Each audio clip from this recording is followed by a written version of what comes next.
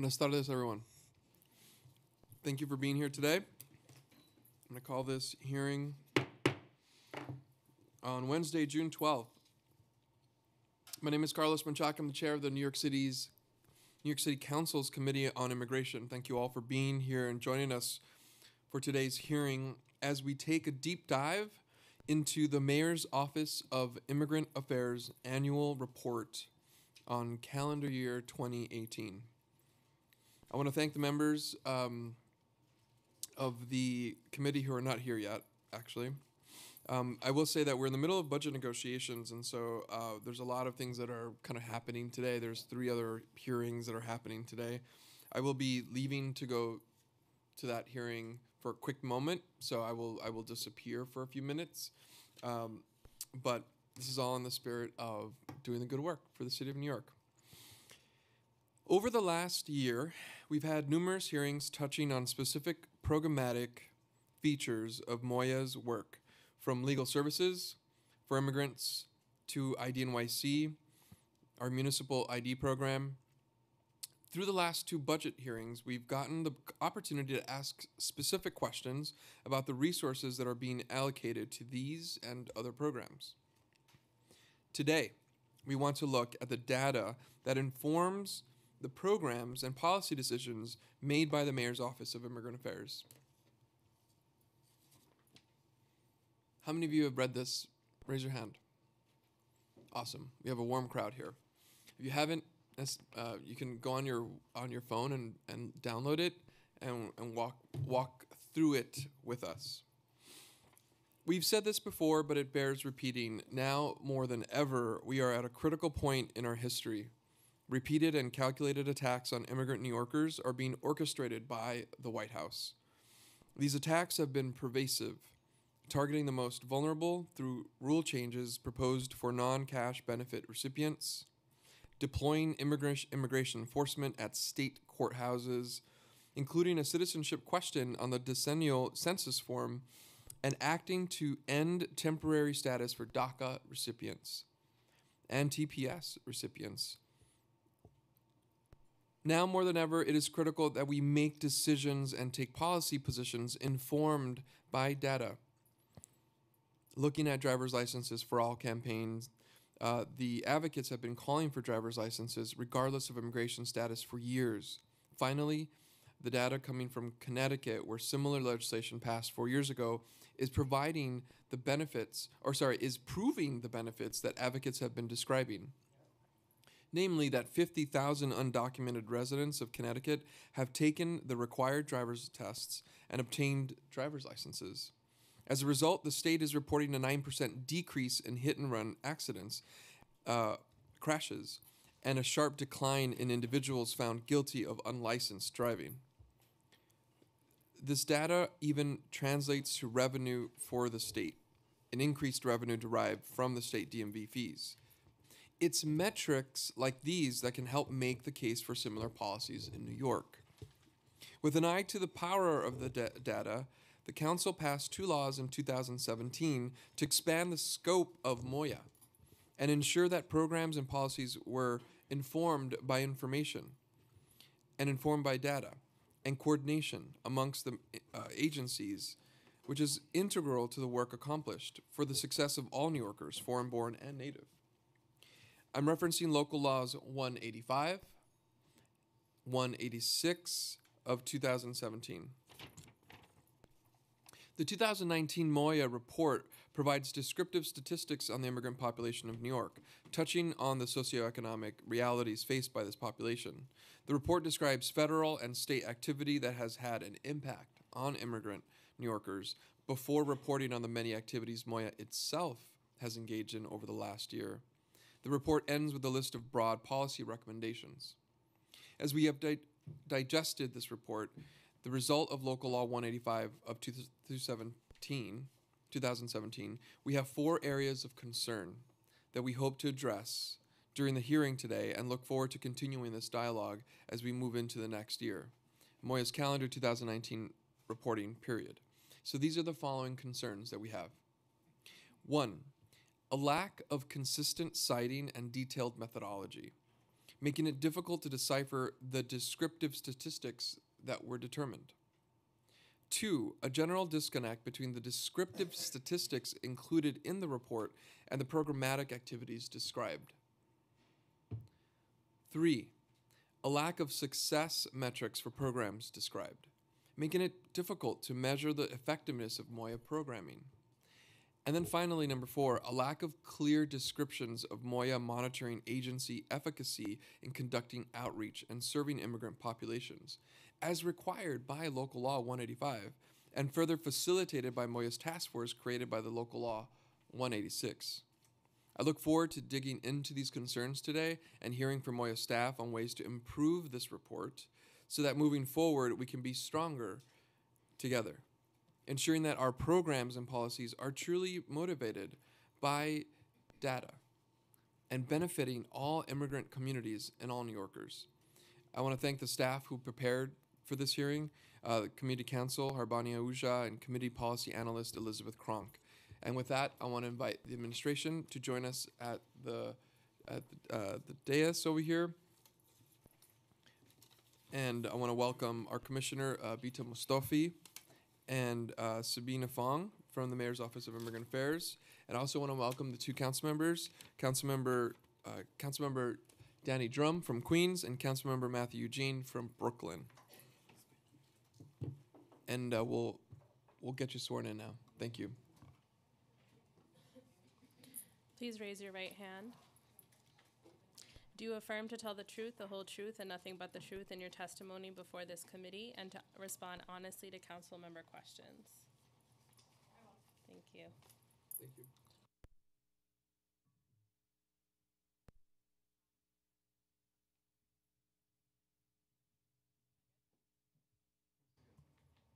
No? Okay, great. All right. Um, thank you to Chair Menchaca and members of the Committee on Immigration. My name is Bitta Mostofi. I'm the Commissioner for the Mayor's Office of Immigrant Affairs, and I'm pleased to be here with Sabrina Fong, our Deputy Director of Research and Policy Advisor at MOIA, who is also available to answer questions. Um, I'm excited to testify about MOIA's annual report, which covered our work in 2018 and was published in March of this year. This report is a testament both to the extensive work that our office does in serving immigrant New Yorkers, as well as the crucial research and analysis that MOIA conducts day to day. MOIA works with quantitative and qualitative data to inform program and policy design, both for our office and our sister agencies, to engage in advocacy at all levels of government, and to tailor our outreach to communities in need. Uh, my testimony today will discuss some highlights from the report, our analysis of demographic and program data, and how we use that analysis to inform the work. I look forward to discussing this important topic with you. This year's annual report, our second ever, included new data on immigrant New Yorkers and a detailed discussion of MOIA's successes in 2018. Beginning with a few notable demographic highlights, I want to start with the decline of undocumented immigrants living in New York City.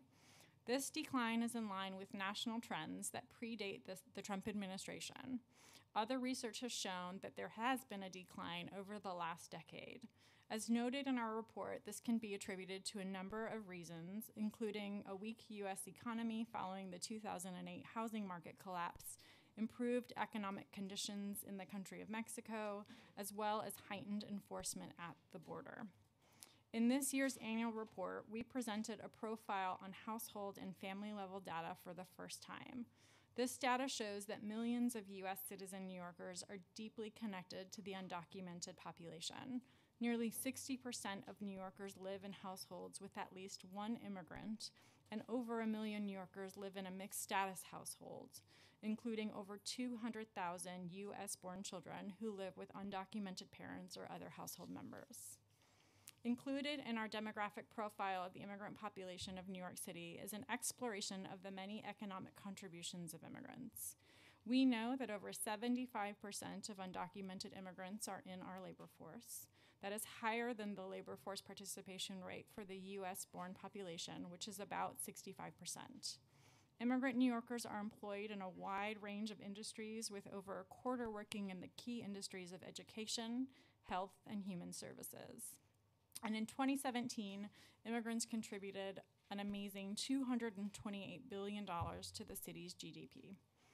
Our report also highlighted ongoing demographic disparities by immigration status, including economic disparities.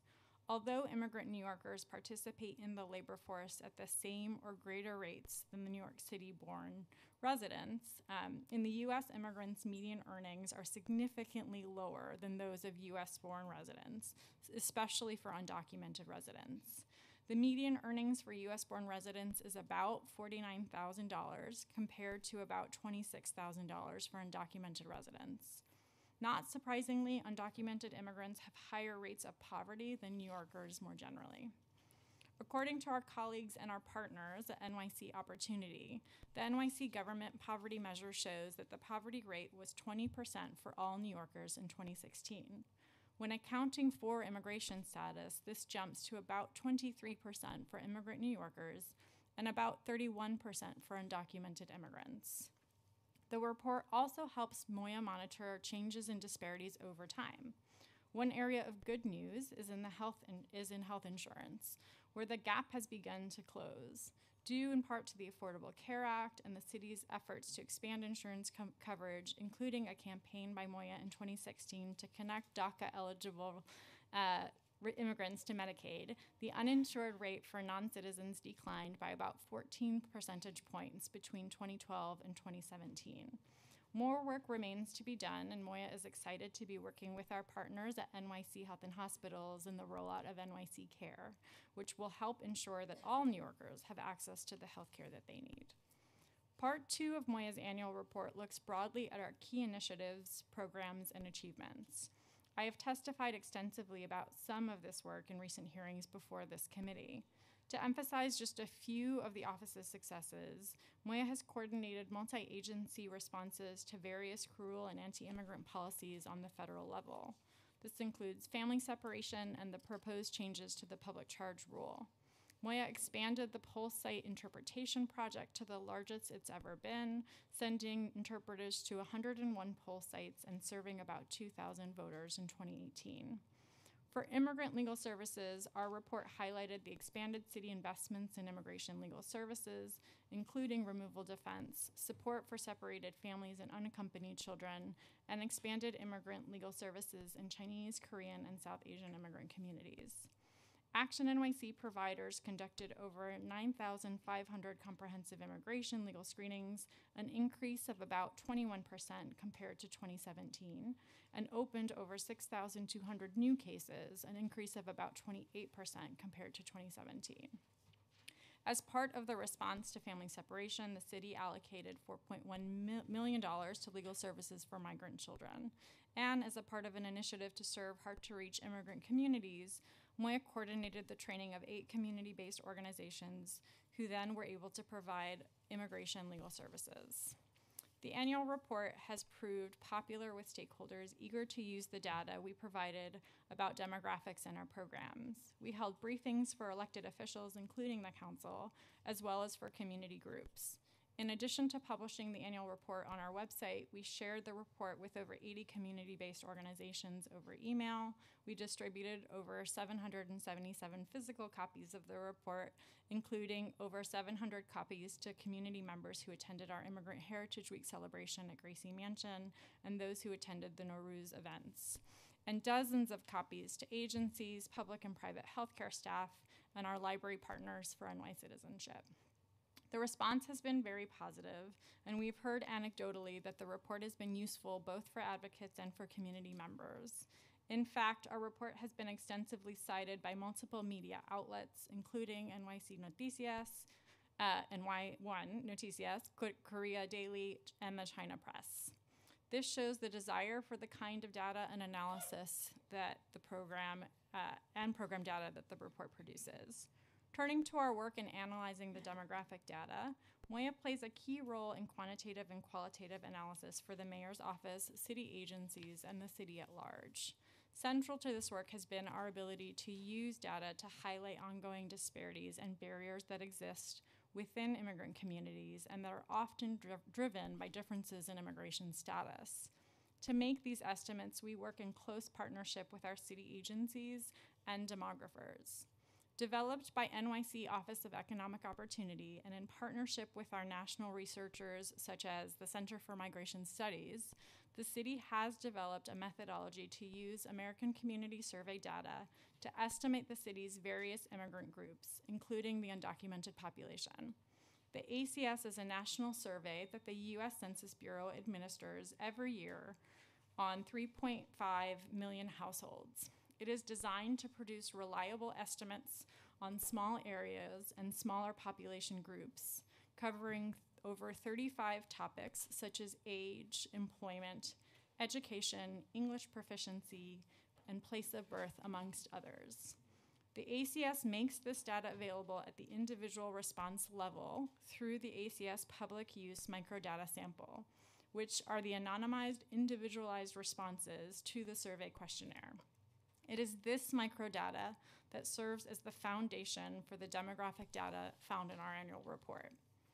Beginning with the non citizen population in the microdata, we make a series of assumptions, which we call, or the researchers do, logical edits, based on characteristics of what we know of non citizen populations to infer legal status. Assumptions that infer status include occupations that require legal status, receipt of certain public benefits that require status, and certain immediate relatives of US citizens, among others.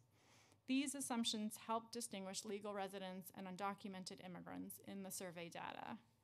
Next, in order to further validate and refine our estimates, we perform an adjustment based on recent federal immigration data looking at actual visa and green card numbers that arrive and or adjust status by country of origin. This step, called country controls, ensures that we can more accurately adjust our estimates to reflect the changing immigration patterns over time, as well as to better account for the diversity of New York City's population in our estimates. Finally, we adjust the estimates for undercount of the undocumented population by about 7.5%. We use undercount assumptions that are consistent with undercount rates measured by the Census Bureau over the last few decades. The ACS data is released in one year and five year estimates. For this year's report, we chose to use the single year estimates in order to provide the most up to date snapshot of the city's immigrant population. NYC Opportunities methodology, as described, is a result of decades worth of work from statisticians that has made it possible to come up with an increasingly accurate way to estimate the undocumented population in New York City. However, as with any form of estimates based on a sample, we are always subject to some error as well as some misclassification errors based on our logical edits. Additionally, because our methodology is centered around the ACS survey, our analyses are limited to the variables presented in that questionnaire. We are incredibly proud of the work that we've done with NYC Opportunity, and I'm gonna go off script one minute to just acknowledge Vicki Virgin, who's here, who's really been the core person who's developed this. So thank you, Vicki. Um, and this methodology and the data that we have produced with it have allowed us to look deeper into the needs and the barriers of immigrant populations and families that we have ever been able to ever before. Moving now to the program data, given the range of the programs that we oversee, we collect and, and analyze a wide variety of program data. The data shows our successes and challenges remaining for us, both in terms of growth and in terms of concrete effects that the programs have in our communities. Choosing what information to collect is a central part of program design. For that reason, the information we collect represents the diversity of the programs that we run and the differences in the goals of such programs. For example, knowing how many IDNYC cards have been issued is important, but the, when planning for the future, it's equally important to understand why people seek out IDNYC and how they use that card. Not every data point is collected for every program, as collection of certain information can impose a burden on the people we serve and uh, the organizations that we fund. For example, the administration's policies and local laws actually prohibit us from asking about immigration status for most programs, and with good reason.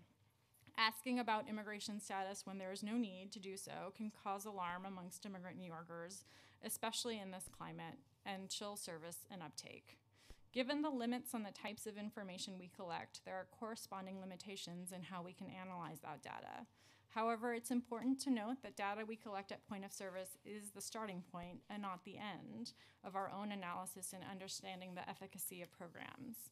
There are other tools that we can and have used, like focus groups and surveys, to glean additional information about programs and how they serve immigrant New Yorkers. In addition to informing program design and outreach, data plays a critical role in bolstering our advocacy work. We regularly share research with stakeholders in other cities to help advocate and educate about the impact of federal policies on immigrant New Yorkers. For example, with the 2018 DREAM Act fact sheet that we published, we were able to demonstrate that this bill would have benefited 150,000 New Yorkers in our city. With data, we are able to make our advocacy more compelling, painting a fuller story about the population. For instance, that gr- in that group specifically, on average, they arrived here at the age of 11 and had lived here for 10 years or more. This fact sheet is just one example of how our office uses data as an important tool. Other examples include our fact sheets presenting what increased immigration enforcement looks like in the city, as well as what the impact of public charge could be in our city. These tools help inform our policy discussions as well here, here as well as across the country. We use both demographic and program data in designing programs that we oversee. The Poll Site Interpretation Pilot Project is a good example of a program that has been deeply influenced by demographic data. That is because our analysis of where there was need for this service was heavily based on where there was eligible voters with limited English proficiency, for which the BOE had not provided interpretation services. For the November 2018 general election, we analyzed languages spoken by the greatest concentration of eligible voters with LEP by poll Pulsite and identified six languages for which we could provide assistance with additional interpretation. We then identified 101 poll sites with the highest concentration of eligible voters with LEP. We also often use demographic data in targeting outreach as well as producing materials. On multiple occasions, we design and translate flyers for outreach we are doing in certain neighborhoods based on what we know about the demographics of that area. Again, demographic data is just the starting place for this kind of work. In many cases, we will organize events meant to reach certain harder to reach communities, even if they are demographically smaller and harder to count. For example, we held the first ever Garifuna and Central American Town Hall in the South Bronx in collaboration with multiple city agencies and local community groups. Finally, MOIA employs a mix of methods to continually evaluate our work. This includes analyzing the program data described above and administering additional surveys, interviews with our providers, and conducting focus groups directly with community members. These conversations with our partners in the field help supplement the story that we get from the data. MOIA's annual report is a great source of information, we hope, for our partners across the city. By highlighting both successes and challenges ahead, the report provides a picture of the work that we do every day. In coalition with our many partners across the diversity, we will do our utmost to build a city where everyone, irregardless of immigration status or place of birth, can achieve their goals for a better future. Thank you again for calling the hearing, and we look forward to taking your questions. Thank you, Commissioner, for your uh, for your testimony today and presentation. I want to rec- recognize council members uh, Margaret Chin from Manhattan, Councilmember uh, Moya from Queens, and Councilmember Miller from Queens as well. Thank you for being here today. Uh, I'm I'm going to start with one question and really preface it with saying there's no doubt that the partnership that we have is is critical in really building uh, budgets and laws and, and policies together. And when we first developed Local Law 185, it was really under that that premise of trying to figure out how we how we can expand your ability as the mayor's office of immigrant affairs to give us a set of detailed reporting. Yep. Um, and you went through some of them, and I think it's it's it's it's important that we're gonna we're gonna kind of drill down. We hoped it would be a self-evident that we wanted a robust set of reporting that followed universally held tenets of publication. I think that's what we're going to be showing you um, how we found that the reporting itself did not meet publication standards. Uh, for example, consistent citations, uh, which appear to be missing throughout the report. Uh, and it's from this vantage point that we'll ask some of the questions. And the first one that I want to I want to point out uh, is something you actually mentioned in your in your uh, testimony on page three at the bottom of page three. Uh, you talk a little bit about the, log- the logical edits, and you kind of really do a great job of explaining what logical edits mean and how you can take this micro data uh, with non-citizen population. And the report states that New York City is home to approximately 477,000 undocumented immigrants, uh, but didn't have a cite. And those are the kind of things when we think about publications from the government, uh, especially New Yorkers who are helping us build policy, is problematic. Thank you for addressing that in the testimony. I think that's it's important. Um, but that's a consistent issue that we saw throughout the report that I think don't meet our expectations. Can I respond to that? Sure. Okay, great. Um, and obviously Sabrina's here who can go even deeper as needed. Um, so I guess the first th- place I'll start is to say um, that I think this collaboration has been hugely important and valuable. And I think it's worth noting and credit is due to the fact that this is the second such annual report ever. um, the fact that something like this has previously just not existed um, and really an intentional and thoughtful way of um, requiring and I think uh, creating an expectation that the city cares enough about this pop- these populations that it's going deeper in understanding who they are, what their challenges are, and how we can best be responsive to them is tremendous. And I, th- you know, I, I'm super very grateful that that is a shared uh, goal of ours. And I think um, some of the challenges partially that you articulated at the beginning and i'm sure that will be a part of the, these questions are due to the fact that it's the second time, right? That this is a new presentation of how we as a city are doing this work. Um, that that even from last year to this year, we've made some changes in how we do the analysis based on our own learnings and understanding, and that really understanding what we're seeing in terms of an evolution of impact will take a little bit of time in the development of this research. We couldn't do, for example, a comparison this year of this year to last year because it was too short a distance, and the data or the changes wouldn't have been uh, uh, immense enough or significant enough to, to put forward. So I think that is worth noting and I think important for context in considering sort of why something might be there or isn't, is that this is new. Um, and it is it requires uh, a little some time, right, to get it right or to do some of those that analysis and that consideration. To answer to your question directly, we very intentionally made sure, in fact, that the methodology was published before we published this report.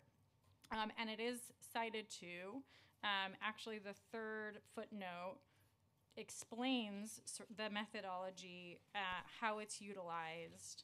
Um, and then the fourth footnote, or sorry, yep, the, and the fourth footnote continuing does the same um, in speaking to uh, sort of the samples that are that are used. And maybe Sabrina, if you want to sort of add to that. Sure. I think in our third footnote, we, in, I guess, um, to avoid kind of citing every sentence almost to the same source, I think we just say, unless otherwise noted, all data is from this augmented file of the 2017 one year um, American Community Survey estimates. And, um, but if I think it's helpful it, moving forward, if we want more frequent citations, if it's the same source, I'm, we're happy to discuss that as well. Got it. So let me let me just do a quick response, and then I'm going to have uh, Councilmember Dromm ask a, few questions. We're all running to five different uh, hearings at the same time, but I want to I want to say that I, I appreciate the the, the kind of um, the sense of, of newness, and, and and essentially that's where we're having the hearing. So we Yeah. can we can kind of have an open public conversation about this. We're going to hear from folks, and I want to hear from a lot of you who come and testify um, whether you agree or disagree or what you want to see in the report as well. Um, part of this is to, if we need to create more legislative uh, fixes to this, we will do that, and that's part of our work here. Um, I think, I think though that that this is a commitment that I want to see in the next the next report. Citing is important. Every piece of data is so important to understand where it comes from, uh, because because we're building policy around it. And as a municipal government, we have such little power when the federal government holds so much that we want to be able to make decisions at the budget level. And I'm just thinking about the budget stuff that we're talking about and how how we're how we're needing so much information right now when we think about our seniors and we think about our young people and we think about people who are going into detention and the programs that that this this has to be understood at the fullest. And when i can when i walk into spaces without understanding the data it it uh, weakens the argument. And then i lose in spaces where we're negotiating budget. And that's that's not something that we want. And so this we're relying on on you based on the law that we pass to bring us that that that data. And we're going to come back to some of the specific pieces.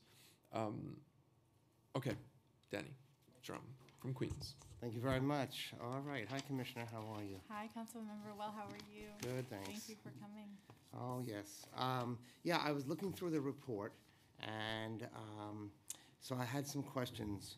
Um, but I, I want to compliment you also on um, page 48, where you um, show the number of um, T- U and TV cer- certification, certification requests and approvals.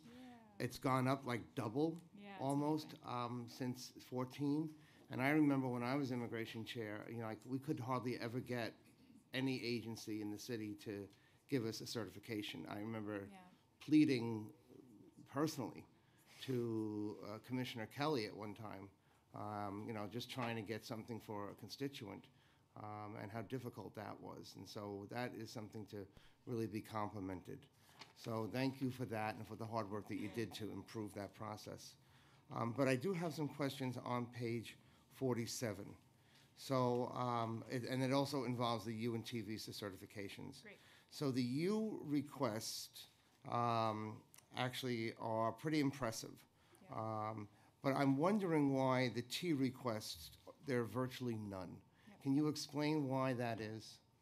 Sure. So thank you for the question and also for your commitment, both as uh, previous chair of this committee and also in your current capacity as a member of the committee. I come from this space. In fact, I was part of the coalition that advocated the city in um, prior to 2014 and then immediately after on changes to the U visa certification process. So this is deeply personal for me and a big part of what my practice was.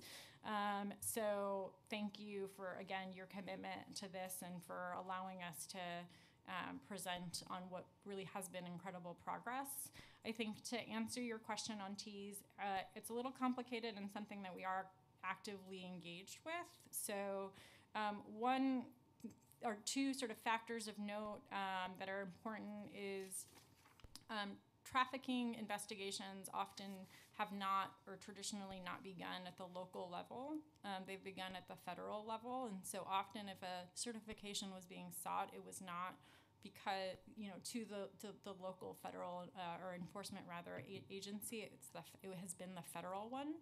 Um, secondly, the way that, that um, decisions have in the past been made, uh, the requirement of a certification wasn't always there. It's not actually legally required.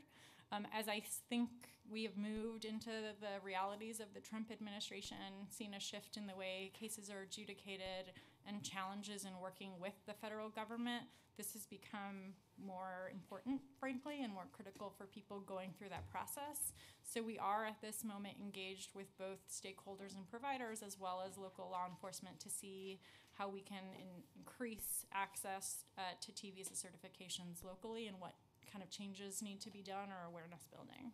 Do you work at all with the courts themselves, with T courts? Because, like I know in Queens we have one, and I believe almost every borough has a, t- a trafficking court, if I'm not mistaken.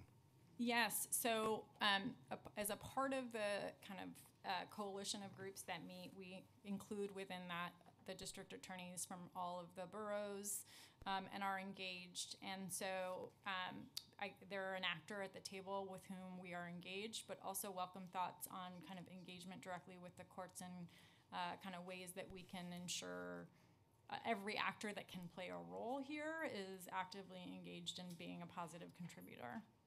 So if they're in trafficking court, is, does a judge ever inform um, the person, usually a woman, um, who uh, is before them of their right to um, apply for um, a T visa?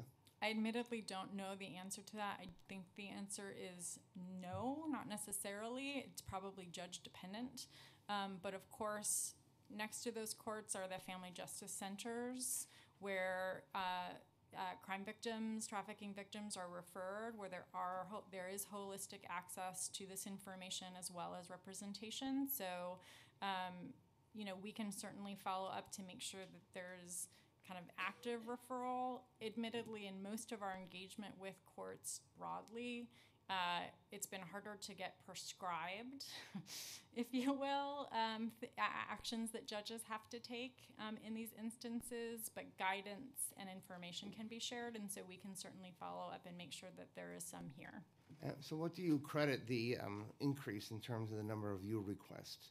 What, is there been more education on that, or why is there such a, a positive increase in that? Yeah, some of some of the questions we are ourselves asking and trying to think about how we can better answer, honestly. But um, I think a huge part of that is, frankly, the change in the way that the city agencies um, both receive requests and uh, um, uh, issue decisions on them. So we there was a major overhaul at the police department, as you know, in terms of the systems before this administration. It literally a certification had to be signed by um, the commissioner himself. Um, so really creating a unnecessary bottleneck um, to the issuances and timely issuances of these. So there is uh, transparency on how uh, the decisions are made. NYPD actually went through rule promulgation to codify the process for issuance of certification to make it more transparent and also to include an appeals process within that. Um, and has continued to make adjustments along the way. Similarly, we've brought on board additional agencies who have investigative powers who had not previously been certified, including the Human Rights Commission and the Department for Consumer Affairs for the first time.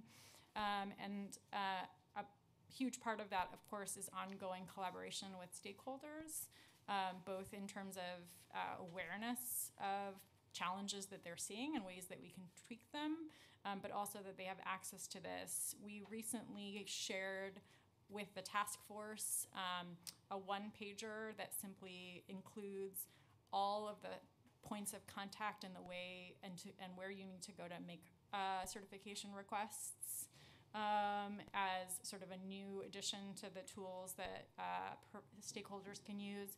And I've been talking about uh, sort of ways in which non-traditional actors, so not lawyers and others, um, can get this information. We have, as you know, dedicated page on our website um, as the way to make this as easy as possible, where people not only see what it is, um, but how they can make the request. Um, and are, have worked with uh, the Department of Education and others in, in collaboration with you to ensure that information is shared out. So um, there's some great work that's been done and that is ongoing, and then I think there are other things that we need to better understand and make sure we're addressing. And ACS can do it because they are an enforcement agency? Or there's an enforcement division within, them, or because they, for Investigate, child, right, right. okay. Yep. I get that. Okay, so uh, just at the bottom of page 47, the, the second graph, um, the first um, uh, category, public safety concern, uh, and UNT, this is in regard to UNT visa certification denials. Yes. So uh, what would be examples of public safety concerns for a denial? Um, so ag- again, this is not, there's not one, one sort of prescripted method by which each of the agencies uh, kind of make their determination around cooperation and willingness to certify. Um, and, and at the federal level, there isn't such, right? It is completely um, uh, sort of bestowed upon the, the certifying officials to make the determinations on whether they will or won't certify. Um, and in so doing, while we have worked with agency partners to um, ensure a level of transparency for stakeholders, ensure that there's adequate due process in terms of being able to appeal if something is denied, um, and that they are being as inclusive and uh, sort of erring on the side of granting versus not. They have come up with their own internal policies and decisions. I'll speak. Um, uh, for example, with NYPD, um, a safety concern is from their point of view, um, where they see somebody uh, who has come forward with a request, but for whom they believe that that individual themselves may pose a public safety risk because of their prior history, they may choose not to certify in that situation. Um, so, as you can see, that's really the, the main agency um, that has sort of made those determinations and still considers that a factor. We're very interested in kind of hearing from folks um, what the outcomes of some of those cases are, or issues that they're having, or ways in which they feel they, that there ought to be a, a further conversation. But that is the position that NYPD has taken. So, f- from the way I'm looking at this, is it's fair to say that um, NYPD received 966 requests for UNT visa certifications and denied 158. It's not perfect in that um, this is a calendar year uh, uh, demonstration of the numbers, but the, but there might be overlap from a prior calendar year um, for one of the denials, for instance. So I'd say that's probably an imperfect, but you could, you know, Near. close estimation. Yeah. And, and so just, I'd love to know exactly if we can get that information, what they consider, what the NYPD considers to be a public safety concern. At what level is it? Is it a felony? Is it a, you know, marijuana arrest or, you know, um, gang related or what is it? You know, I'd lo- love, really love to get more information on that. And, th- and I had a question also on insufficient documentation. NYPD has 19 of those. Do you know um, what is considered insufficient documentation? Um, so again, I think this varies depending on the, the, the request. Um, so this might be that they've been unable to uh, kind of verify or confirm something. That, um, so either that the individual was a victim or did cooperate in some way. Um, so it's it's a kind of case by case, but that's often what they're referring to is um, an inability for them to uh, feel confident uh, in in demonstrating or certifying that that person or individual was in fact either the the victim or or um, or that the information that they received uh, fell within um, the the framework um, set out by the U visa uh, law itself, so that there was a qualifying conviction for which this person was a witness or victim. So sometimes people come don't actually have their police reports, right, or the incident reports, and so they have to um, uh, look those up, and sometimes they're unable to either find them or verify that what the individual noted what is it actually on in their records. So with the non-qualifying crimes, um, ACS had three and NYPD had 88 and the rest had zero. Would you know what portion of the appeals are to get NYPD to correctly classify the crime? Um, You know, they have a bit of a habit of underreporting. So I don't know. We can certainly circle back and with kind of more information based on the questions that you're asking on Okay. PD practices. I would of course note that um, uh, NY uh, PD and ACS are our oldest certifiers. They have the bulk of the cases, so of course there'll be a disparity in terms of the number of denials that you see here. Okay, and then if I look on page 48 again, I see 44 appeals were filed. Yes. Right, okay. And then finally, on page 45, um, uh, s- the last paragraph, in accordance with local law 185, which codified MOIA's responsibility to advise law enforcement agencies about U visa certifications and T visa declarations, um, what does that exactly look like? What do you do um, in terms of advisement to the law enforcement agencies? Sure. So we convene the task force in partnership um, with the mayor's office to end um, gender and um, domestic violence, gender, gender-based and domestic violence, and um, uh, together we convene uh, all of the certifiers, not just the city agency certifiers, but the others. Um, we continue to try to, with that, also convene stakeholders. So, um, primarily legal service providers and others who are operating in this space um, to understand again challenges that exist and, and the ways that we can address them with the agencies specifically. We've helped agencies come on board as certifiers through that process. We've created things like the one pager we, we distributed at the last meeting based on requests that we've received.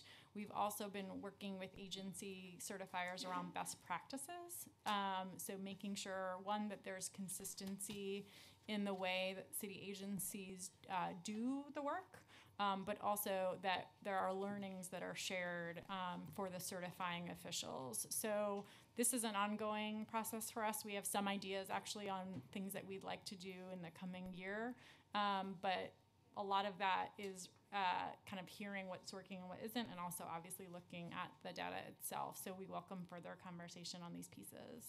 Okay, well, thank you very much. Thank Always you. good to see you. You too. Thank you.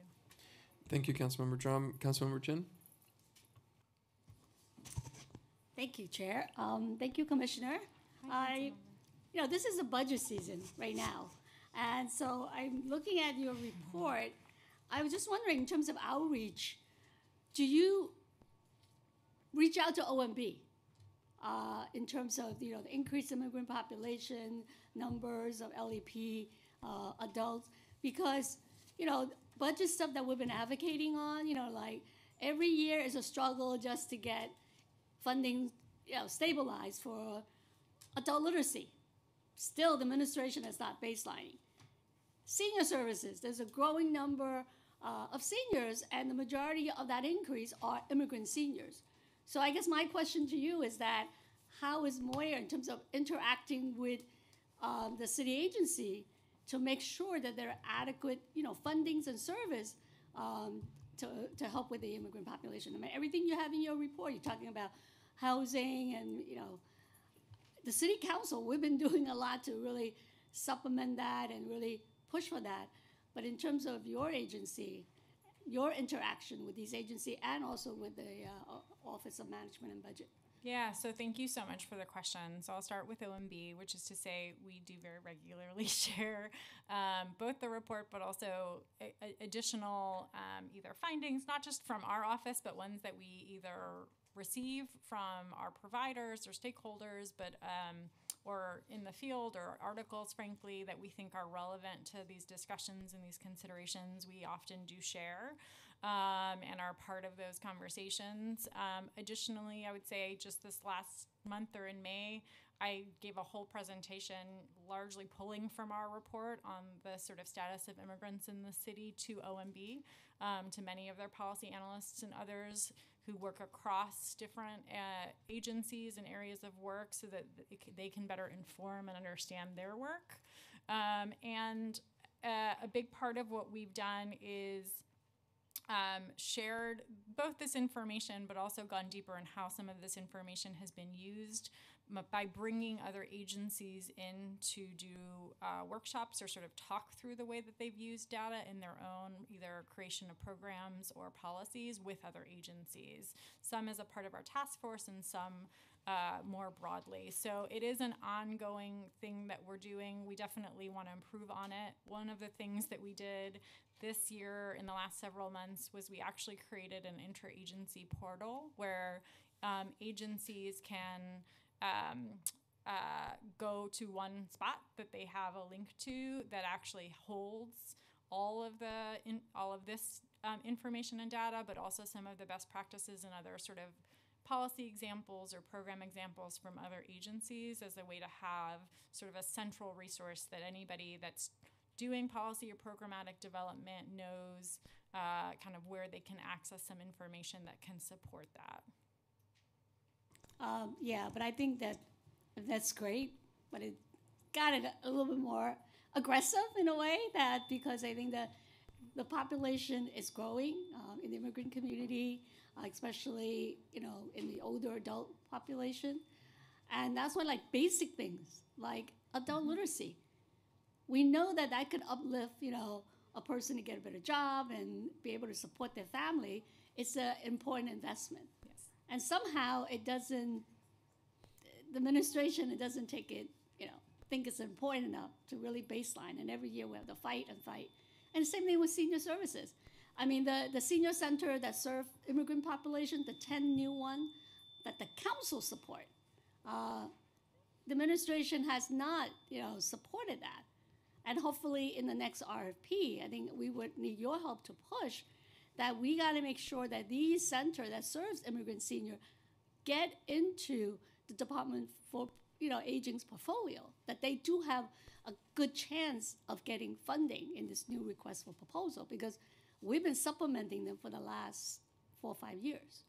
So like we help to create um, the support, but the administration really needs to to pick that up.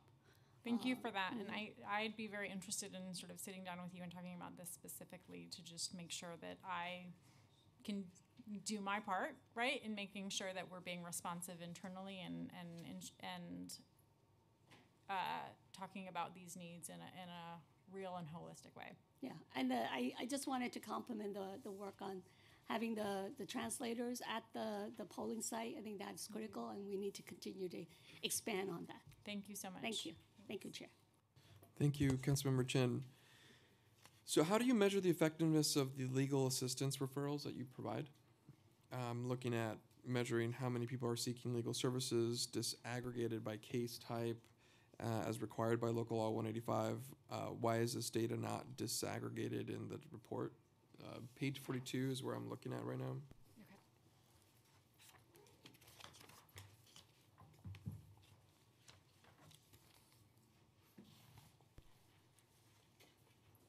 Do you want me to respond? Is Yes, please. Okay. um, so thank you for the question. I think um, one of the things that you know you do when you're creating reports is also looking at sort of what else is what else exists and what where you're not being duplicative but supplemental um, and thinking about kind of what is out there. And I think um, definitely appreciate your feedback on the legal services specifically and sort of what you all have in mind in terms of thinking about the disaggregated data. That information is actually published. It's ac- it's published through our OCJ report, um, where as an administration we've centralized reporting on uh, our legal services contracts, uh, all immigration legal ser- civil, and then included within that, of course, immigration legal services contracts. So we where we publish uh, data not just on Action NYC but IOI and others, um, and have been intentional intentional about making sure that the full view of what the administration is doing in this regard is in one place. And the OCJ report actually comes out in the same month that ours does. So we work very closely with OCJ, both on our report as well as theirs, and sort of just made the decision that that's the role that they will play and continue to play in publish publication of theirs and that we would we would paint the different picture so that you could see it both ways. So appreciate your question. It's definitely available and public and we, that was intentional but if that's the kind of data that you also want to sort of see in, uh, in in here or sort of the duplication of it in here we can do that I'm going to come back and do a final overview of everything, but I'm going to go through some of the questions. Sure. Uh, what is the outcome of the legal assistance? Uh, do you have success or case outcome? You mentioned the OCJ report. Does that have that as well? yeah So I it has mean, like outcome, it has approval ratings and et cetera? Yep. Okay. Um, yeah, it goes through. I'm sort of sort of just seeing the various charts. Um, it goes through the kinds of cases, sort of breakdown by year, um, uh, the kind of representation, whether it was full or not, um, and um, provides that uh, based on each of the programs. So IOI and Action NYC. Would it show also services and case types that have fluctuated since 2016 uh, when Action NYC was launched? And was that data tracked as well? So, um, no, I don't think so, but let me make sure I understand your question fully. So, um, I think, as you know, um, uh, in the last five, six now years, we've created these programs, right? So um, they didn't previously exist um, for us to have a comparison from what predated them, if you will, um, to now. And so I think we don't go prior to 2017 in these in the reporting for that reason. We don't have data sets um, before those years, um, which is challenging certainly in terms of sort of thinking about sort of I- the increased accomplishments and the impact of these programs. But they, it just didn't exist in because the programs didn't exist. But there's multi-year funding that Action NYC has done and can be compared between and the year t- and the and the the multiple years are in there. with. And I guess what I'm looking at is the fluctuations over time. Yes, so we So do that- give the that is there. fluctuation. Yes, we do. We, we provide for the increase in number of um, cases that were opened, number of screenings that were done, and so forth. Okay. Uh, on pages 15 to 16, under the health section, the report states that the gap in insurance coverage by immigration status also persists among children under the age of 19, despite the fact that universal coverage is available for children Yeah. under state law. 18.6% of the undocumented children are uninsured compared to 2.1 of US born children. Uh, this indicates that the gap is not a result of a lack of coverage, Right. but rather a marketing information issue. Is MOIA conducting outreach on health insurance coverage? How does NYC Care fit into this? Um, the footnote 10 states that the NYC Care program will guarantee health for every New Yorker. How will this program guarantee health care for every New Yorker? What elements of NYC Care are new that haven't already been done? Great. So, um, to get to your first question on uh, awareness building for people who are insurable but not yet insured, I would say there's a sort of pre NYC care um, uh, response and a post NYC care response to that. So, the pre is the administration started the Get Covered um, initiative. Um, and with that, the public engagement unit, a part of that unit is specifically uh, designed to um, in fact, get people um, who are not yet insured but who are insurable, which we estimate to be about 300,000 or so within the city um, coverage, uh, to, to let them know that they're both eligible and also ensure that they know what their options are. Um, and uh, we work very closely with PEU. We do trainings with PEU around immigrant populations and eligibility. We do trainings around outreach and engagement with immigrant communities and how best to do that. Um, we ensure that our team has that shared information of what they do and can make those uh, referrals. We actually codified within Action NYC the uh, referral to um, health navigation or H&H for support for people who are uninsured or uh, need that support. Um, and um, I, I just want to step in really quick. You're, so you're, you're saying that there is marketing and information. I guess the question we're trying to ask is whether it's really about that. Is it a marketing issue?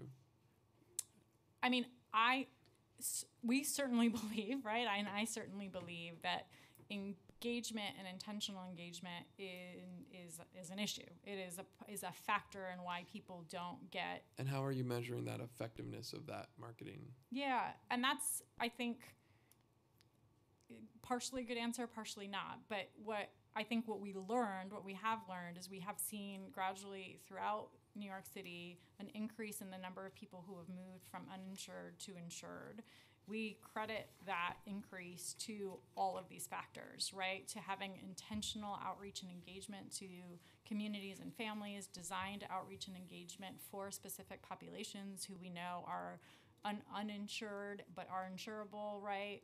NYC Care, one component of NYC Care is increasing the efficacy of Metro Plus and making sure that that 300,000 or so estimated population that's insurable that has not yet been connected to insurance is intentionally targeted and looked at through awareness building, marketing, and so forth. And then separately, the 300,000 or so who we believe either can afford or are, uninsurable um, are connected to NYC Care itself. And NYC and H&H has hired uh, a team that is looking exactly at marketing, awareness building, and all of that that will supplement uh, what Get Covered is already doing. Well, and words are powerful. So this concept of guarantee healthcare for every New Yorker uh, in the report. Can you tell us a little bit about about that Sure. commitment and is that how, how do we get there? Yeah. So again, we're as a total sort of looking at about 300 or so thousand New Yorkers who we believe are either uninsurable or cannot afford insurance at this time.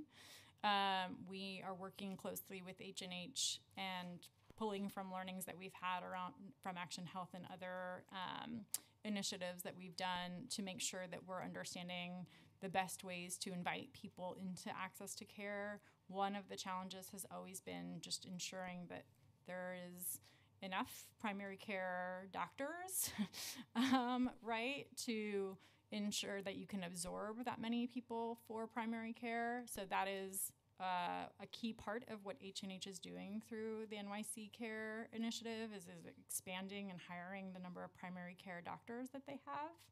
They're increasing training in, in both linguistic and cultural competency for those physicians. They're increasing access to specialty care um, in certain areas where we've seen particular uh, need and the, num- the in, uh, greatest sort of number of referrals.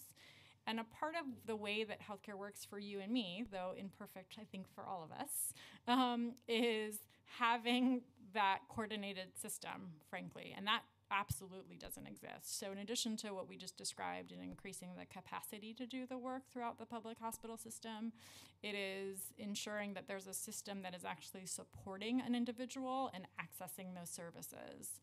Outreach and marketing is a piece of that system, but the actual infrastructure where you have a phone number that you can call and say, I need to fill this prescription today. Like, where can I go? And you have somebody that's helping you navigate that is is something that doesn't exist and is built being built as a part of NYC Care.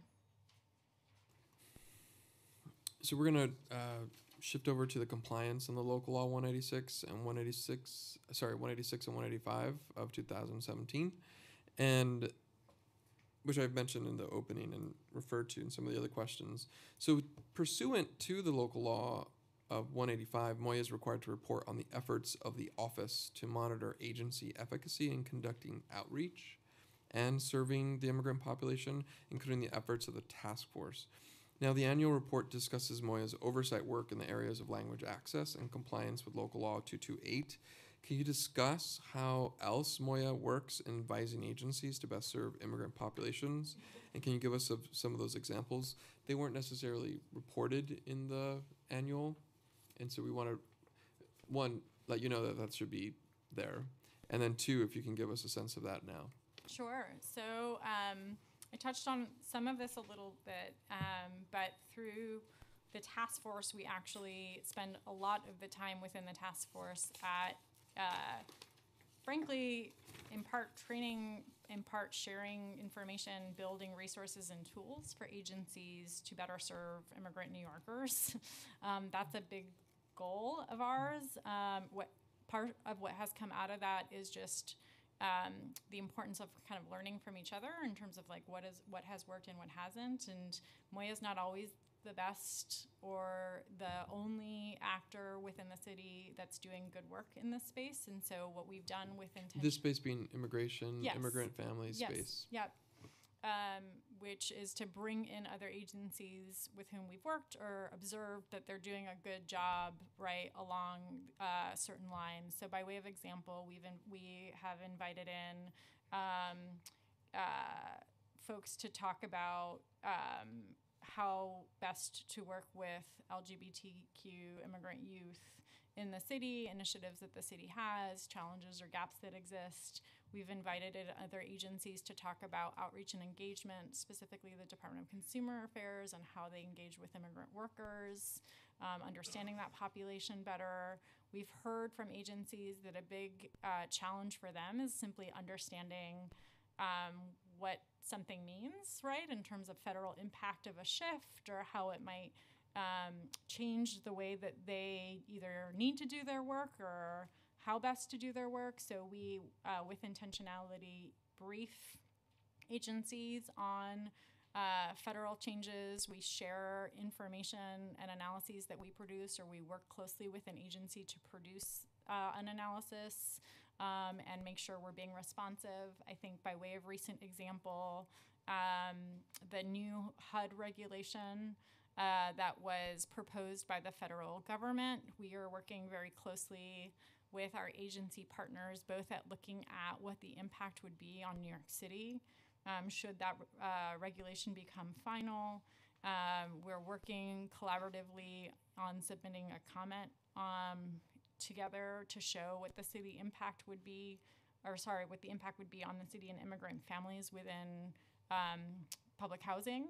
Um, and we have trained our uh, tenant support unit and our housing support unit on uh, the regulation so that they're aware of it and they can give good information to families that have questions um, as well as staff. So that's kind of one example of being responsive to re- kind of concerns or challenges that agencies have been facing and how um, part of what we've done in the last really year and a half or so is frankly agencies come to us more proactively and we go to them more proactively knowing kind of that these things would be beneficial in being responsive immediately. So sort of not waiting, but immediately hitting the ground running together, looking at things.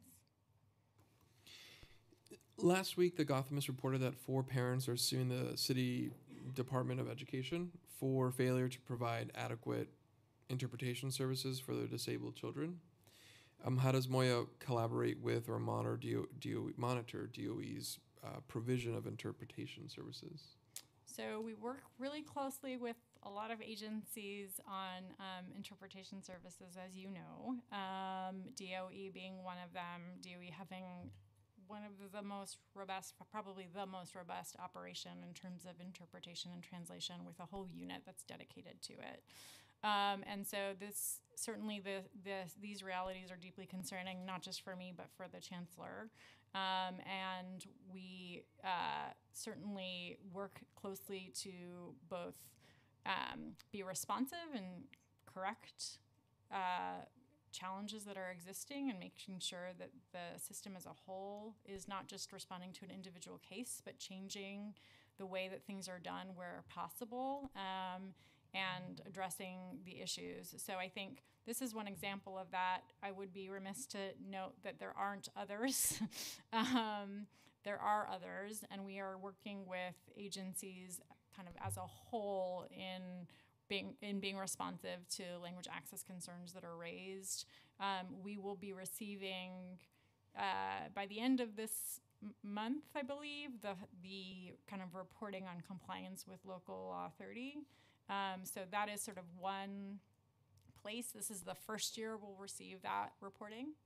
Um, so it's kind of uh, the beginning of sort of a formalized uh, work with agencies to respond to some of these issues. But as things come up, um, as we uh, are either made aware of them or observe them or see them happening, we, we work immediately with an agency to try and resolve. Uh, I'm going to hand it over to Councilmember Gjonaj from the Bronx for a couple questions. Thank you, Chair. Good to see you again, Commissioner. too, it was uh, wonderful to see you at the first Yemeni uh, Yes. parade in the borough of the Bronx.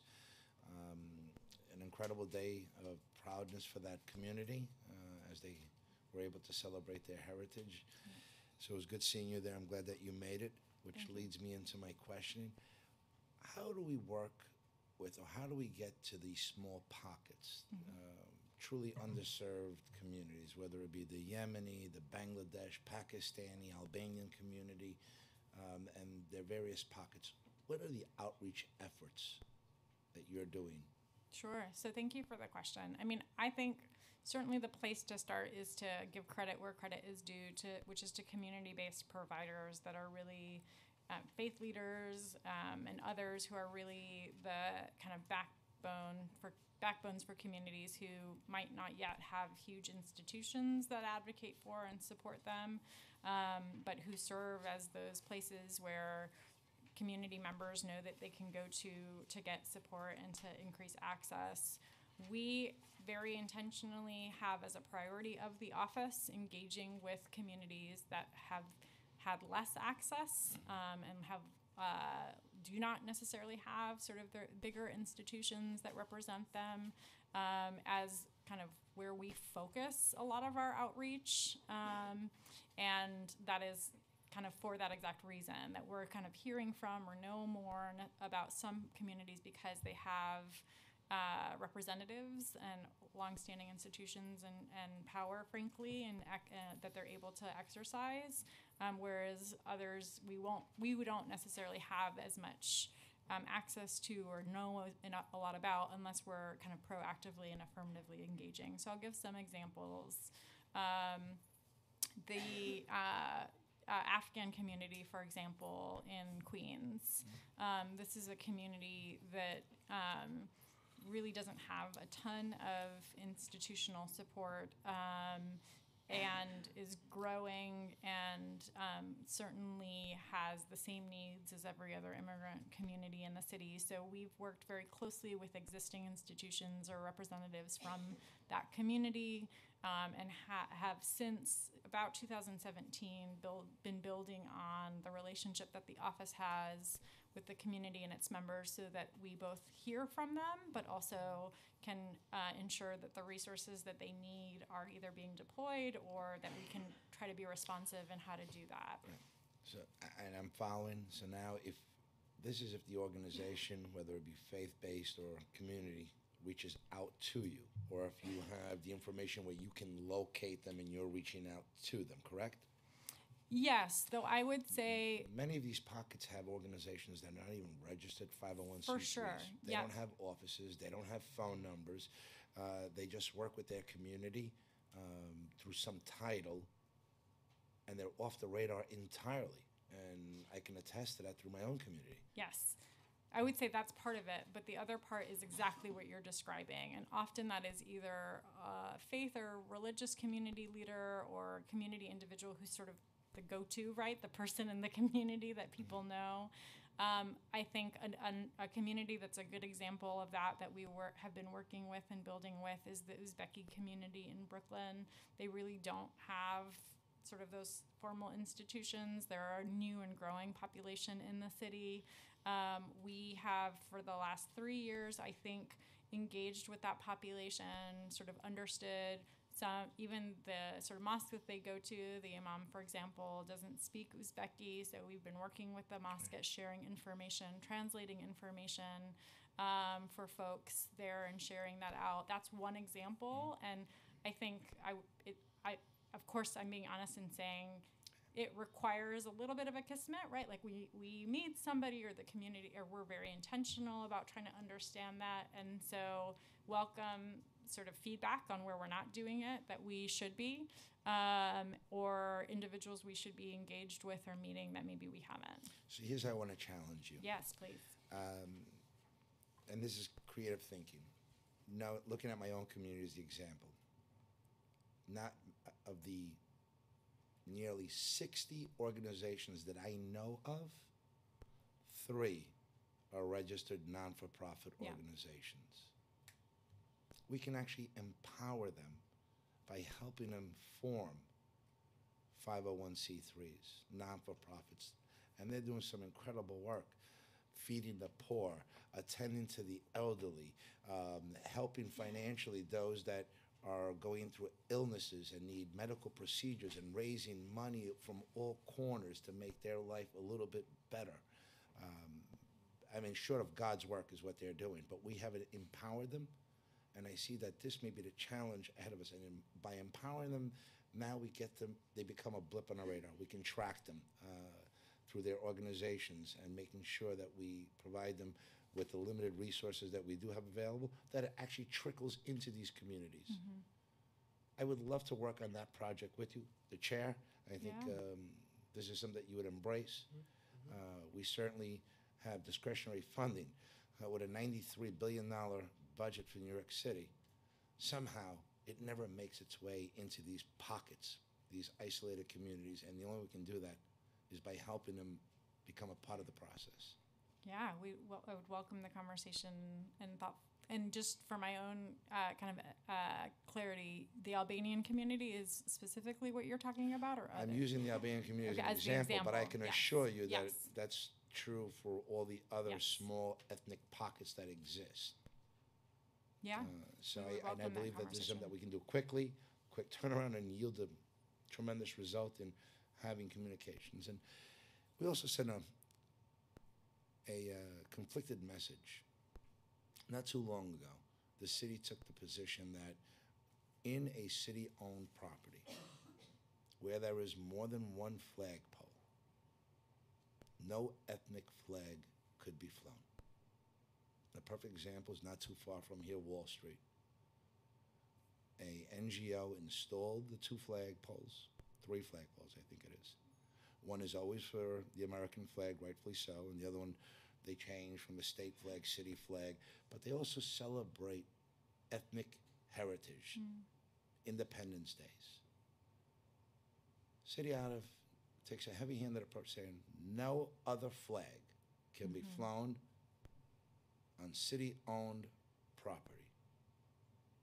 How are we truly embracing our immigrant community if we don't let them display their symbols of prideness on a special day of independence or heritage? So thank you for the question. I think I'm not as familiar with this as maybe you are, but I'd like to follow up. I'm assuming uh, the Parks Department is who you are This engaged is a citywide uh, initiative at Okay. this point, where, and I, this is not in lieu of or replacing the American Sure. flag with another flag. This is where there's more than one flagpole exists. And traditionally, in these areas, they've been celebrating for many years Sure. various nationalities and ethnicities. Yeah.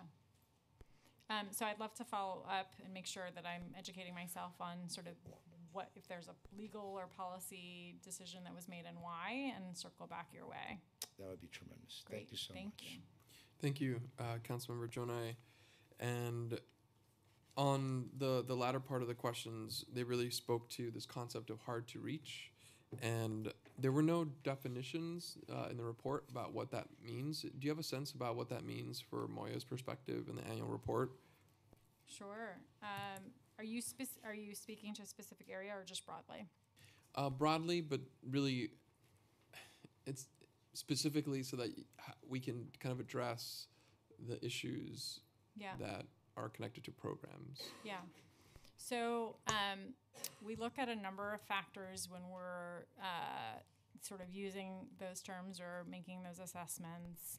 They speak to um, uh, the kind of size of the population, um, the uh, reticence of a population to engage or not have not engaged right um, with us in some way um, language um, uh, that they speak and whether or not that's covered or we can see demonstration that they're engaging with services or not based on language.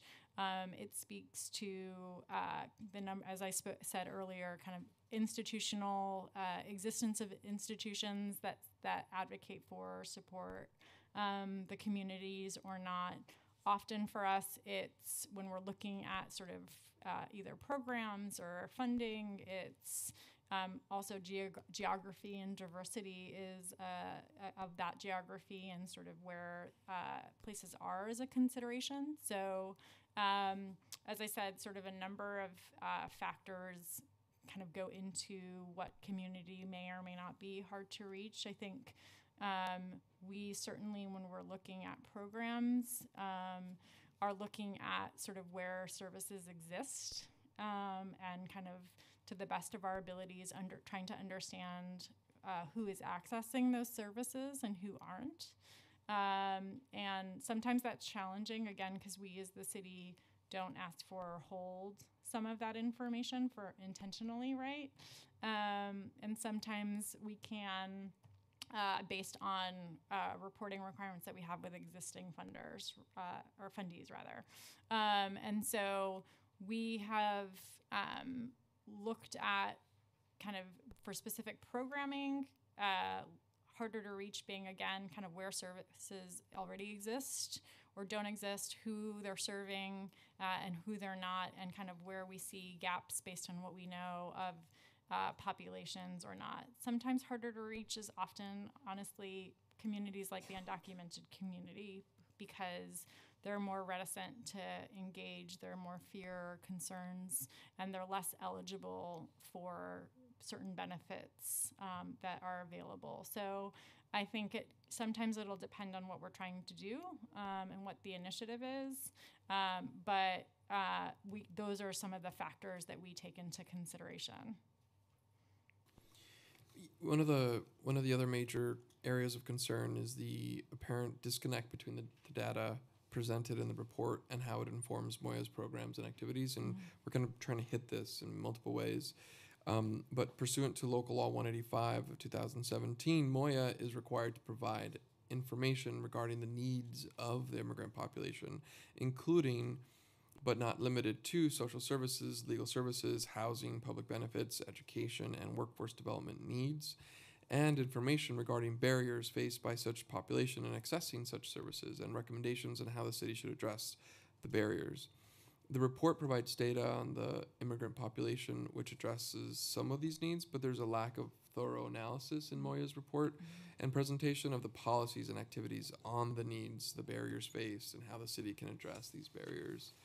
Um, and so that because we're just trying to figure out where it connects. Yep. And and again, this is helpful. I think Margaret Chin said it best. I think we're all pointing to this idea that we're trying to we're trying to figure out how to land a budget here, and we're we're making assumptions that you're fighting inside with OMB. Um, I don't know how how that works or not works, but but we're fighting with OMB, and so we're trying to figure out how it connects. And on page twenty three to twenty four. Uh, on the report, MOIA discusses linguistic isolation, stating 38.2% of the children in mixed status families live in a linguistically isolated household in which all the adults in the household, aged 14 or over, speak a language other than English, and none speak English well. This suggests that children in the households may bear a disproportionate level of family responsibility as only proficient English speakers in the home. I'm sure all of you, and I, I, I came from a family like this. Um, and the report does not discuss how MOIA is working to combat this issue. And there's no strong data informed argument laid out in the report to show that We Speak New York uh, program adequately combats the issue of child linguistic isolation in a meaningful way. This is just an example that we're trying to highlight that really, I think, for us was the expectation of this local law and the reporting about how we were supposed to get a better sense of information to make policy decisions, Yep. not just to kind of tout work that's happening, but really understand the analysis, thorough analysis to connect the dots. Yeah. So I'm. I think thank you for that. I will say a, f- a couple of things. One is I think that's helpful to note, certainly in terms of how we think about the report going forward. Um, I think secondly is a, kind of where I started, which is not, you know, to say uh, as an excuse, but a reality, which is that this is literally the second report that we're doing on this. So some of the ability to assess or ensure that you have on the other side the right data to make that assessment available just doesn't exist. So um, I- I think some of the questions of like how you address something this, frankly, uh, huge as an example, right, is requires on the other side an evaluation and an understanding of sort of existing dollars and programs and what their efficacy is in addressing this. So we have known that this is an issue. We share the council's uh, um, concern in the need and, and and addressing the need for uh, increased services in this area. Um, we uh, have commissioned in partnership with the Office for Workforce Development an evaluation through CUNY on the efficacy of the existing programs and the funding that's used to try and inform and better understand this. So I think, again, keeping in mind that you can't make a logical leap on the efficacy of a program without something on the other side that helps you do the evaluation um, and understand it. So the tools that I mentioned in that we use in the testimony, like evaluation, like survey, like focus groups, like reporting from fundees, like talking to community members, all of that informs are we making progress here or not? But the indicators that we provide are tremendously large. And so we have been sort of prioritizing and looking at the kinds of research and evaluation that we need to make to draw some of the conclusions I think that you're asking, like what is working and what isn't. Um, and for uh, literacy, we did a We Speak evaluation. We commissioned a CUNY one for system wide. We're working with DOE and new leadership that oversees its adult literacy work um, at looking more closely at that program, that programming, and how it works, and that will inform recommendations moving forward. Well, and I mean, I guess we can we can stay on We Speak, and I mean, just from reading the the the kind of proposals, or not the proposals, the report, it sounds like a successful program, and really based on this idea that that five thousand on page thirty two, five thousand three hundred and twenty L students were engaged. It's unclear about what engaged means exactly, and um, what does that mean? And how does this translate into, for instance, like a measurable level of improved English proficiency, Mhm. or what does it actually lead to? To more job opportunities? Yeah. Um, help us understand that. Sure. So, um, engaged as students who have come to sort of one or more of the classes, right? So, participated um, in some way with the classes themselves. It doesn't account for uh, visitors to the website, which is much greater than that. Um, and the website is a newer tool, right, that we're trying to frankly improve and make sure we can actually evaluate and understand who, who's using it and how. Um, and so we're looking at who's watching the videos for how long, who's using the, the tests or the tools for how long, and kind of what that looks like. So that's an ongoing kind of area that we're looking at and trying to better understand. Um, so when we what we have in this is, as I said, talking really about students who are part of the classes, one or more. I think, as is uh, not surprising, um, most students complete the full te- the full ten weeks. Some, because of other commitments, either family or work, might not go to every single class, but may come to one or two, may receive the workbooks um, and access to the videos, and then uh, kind of continue their learning. I think That that information isn't here. Sorry, Commissioner. Just to, but like that that information isn't in, in the report, correct? in terms of defining students engaged, that's that's what I'm suggesting. But um, we can Add. Yeah. Got it. Yep. Um, so I think in terms of kind of what people walk away from and what what the learnings are, I think for us a lot of the learnings were around community-based models being effective because they allow for they're oriented sort of around community and community spaces that people are inter, inter engaging in already, right? Interacting with already. Um, and one of the learnings was that the what they take from the classes, what they take from the videos, what they take from the workbooks, they're using within their homes. So they're sharing that information more broadly with community, uh, sorry, with families and households. Um, and does that take you to job placement? Does that take you to uh, kind of workforce development? No, not necessarily. But in our mind, this is a spectrum.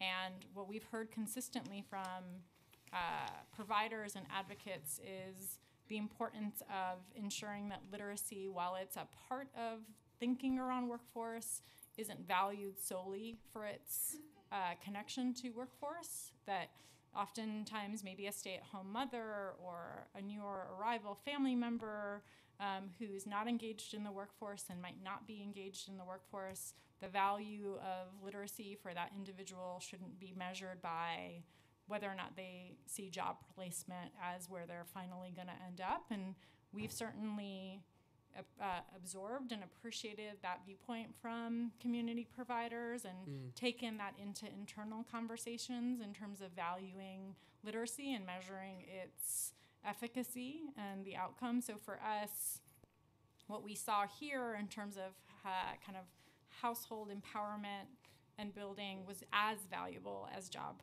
placement, right?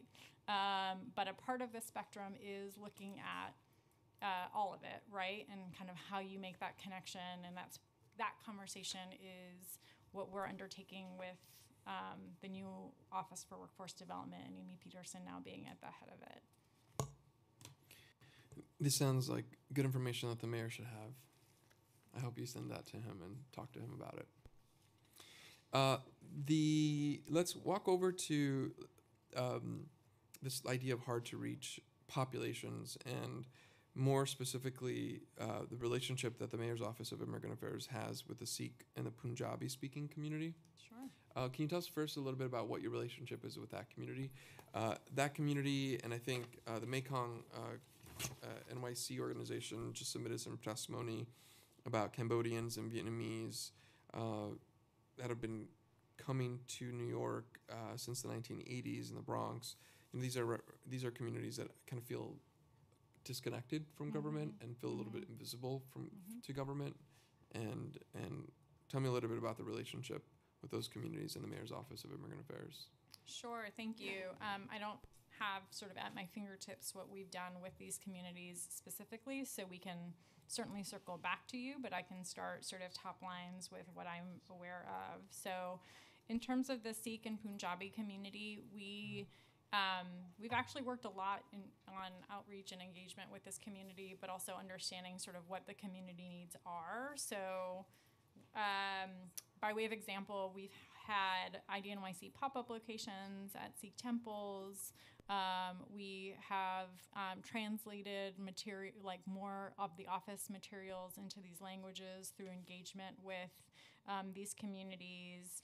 Um, we have been in partnership with our uh, Center for Faith and Community Partnerships and the Human Rights Commission, um, done annual celebrations for the Sikh community. Um, and uh, continued engagement. We actually do a lot of we speak classes with um, some of the community-based organizations that serve these populations, um, uh, both in Brooklyn and in Queens. Uh, so, sort of some examples of what we've done with the, those communities. But as I said, I don't have kind of the things at my fingertips, and we can circle back with more specificity. In terms of Cambodian and Vietnamese communities, so I don't, I know uh, sort of less off the top of my head what we've done with these populations, so would prefer to to circle back with more specificity um, so that I don't misrepresent anything. And maybe a, me- a meeting with the organization just to kind of sit down. Yeah, I know they're that. ramping up for a lot of different projects, and we're trying to hear from them on census projects in the future, Great. and trying to think about how we work with them. But maybe that would be a great first step too, Yeah. uh, with you in your office. Um, and then, you know, this is this is in the category of of the report trying to be as um, as culturally sensitive as possible. And this is one example that we have um, learned about. Uh, that there are various references in the report to the Sikh community, and one of them states that the um, Vaisakhi is a celebration of the Sikh New Year.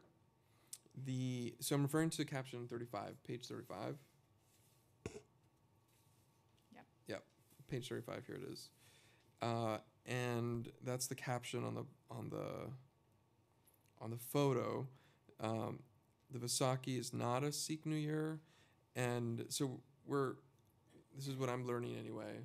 Um, how does MOIA consult with communities? Here we're talking specifically with a with a Sikh community, but how how does MOIA consult with organizations before it prints out statements?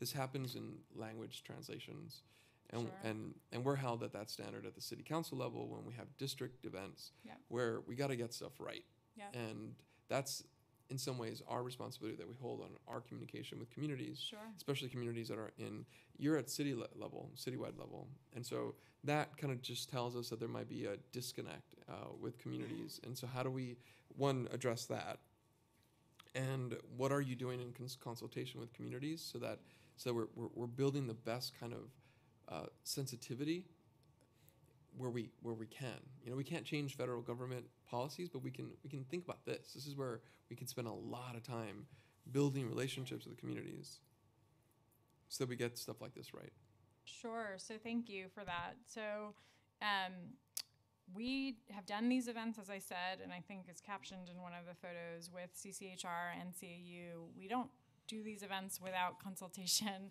with the community-based organizations and participation um, and frankly sponsorship, including this year of multiple community representatives and organizations. This year, in fact, we had one at the um, uh, NYU Kimmel Center with a new uh, mayor of Hoboken who actually came and spoke to the audience. Um, and so I don't, you know, I think in terms of uh, sort of how we talk about or characterize events, it is very much a collaboration, not just from the agency side, but with community partners and individuals. Um, I think certainly we'll go back and ensure that we're characterizing things um, effectively or correct uh, errors that might not be accurate, but um, all of that is done. Uh, in, we don't do we don't literally do a single event without a community collaboration or sponsorship. Well, and I guess for this one, if, if you can, you work with us uh, to ensure that we can correct the mistake on yeah, the report, of course. and that we just keep moving forward to figure out how how, how we can double check these things. Again, Sure. they're this is this is a living. So I'm going to. Oh, actually, there's one more question before I kind of wrap up. And I want to say thank you for your patience, those who are still here, and uh, we want to hear from you and your your report analysis as well. Um, the the recommendations at the end. Uh, one of the, the first actually the first recommendation is to lower barriers for immigrant access to services. Can you explain? Um, that, that's a big that's that's beautiful, right? I love hearing that. And you may know where this is coming. So we want to lower barriers for immigrant access to services, and that's I'm assuming everything: healthcare, Yep. education, and legal as well. Yep. And so this falls into contradiction with the detainer law carve out in the legal services contracts and expanding the detainer law by rules serves that that that you served um, or that the mayor did anyway um, and this this falls into con- contradiction with this recommendation I don't know if you have any more, but I'm just kind of pointing out that your own recommendation kind of s- really speaks to barriers being removed, and the mayor just keeps adding more barriers to this. Um, and I'm not saying it's you, but I am saying it is your boss that is doing this. If you have an, op- an opportunity to talk about that, that'd be great. And there might not be much, but I'm giving you the opportunity to do that. Sure. Um, I, I'll say a couple things somewhat indirectly. So um, I I think certainly from uh, the perspective of the priorities for our office, you see them laid out, and obviously uh, this report um, is supported by the mayor. It is it includes a letter from the mayor Yeah, at the saw the beginning of the report, um, and you know. Uh, for what it's worth, none of the work of the office is possible without the support of the mayor and the administration as a whole. So um, I think that's important for me certainly to know and for folks to understand. I think um, we've seen the you know single largest investment in immigration legal services in the entire country in our city in the last uh, six years and we've seen an annual increase in that investment um, every single year and so certainly that's uh, credit to many, many people, um, and not just the mayor, but I think wouldn't happen if there wasn't a commitment to uh, doing what this says as well. And I think there are certainly differences of opinions on where some lines are struck. Um, but I think the principle of our recommendation here shared by everybody.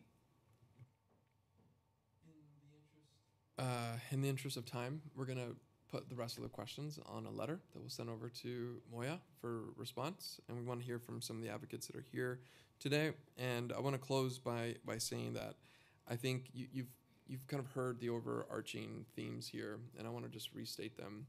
Um, that there's a lot of alignment between the city council and your office, and and I think that that's important to lift up and in conversations like this that have been I think difficult for for me um, because I feel like this report has not has not met the standards that we are expecting. Uh, the local laws really, I think, laid it out, and so I want to explore legislation to help help craft the messaging around the the report. That really focuses on on data, but not just data because it sounds like you have some of that data, but it's it's like simple stuff every every and this is maybe just the my college like training. Uh, I did study physics uh, as a, as a college student. You did? I did. I know. Wow. I, I was a college major, uh, and co- or physics major, and then I moved over to politics and performing arts. All right. Uh, we could talk about that Yeah, later. please. Uh, but the charts don't have any. None of the charts have have citations, and and so just little things that I think have been have been difficult for for me to kind of go through the report has been has been disappointing. Yeah. Uh, and but I know that we can do better, and we will, and we're going to work together to make that happen. And we've given you some senses about how how to professionalize this in a way that we can all feel very proud of, because we're doing some really good work. And then there's some places that are really sticky, like the carve out, that are just contradictions. And then and then you know, your boss is running for president right now. And what is really difficult for us is to figure out how much of this report is just something so that we can kind of show people that we're doing good things for kind of campaign style light information.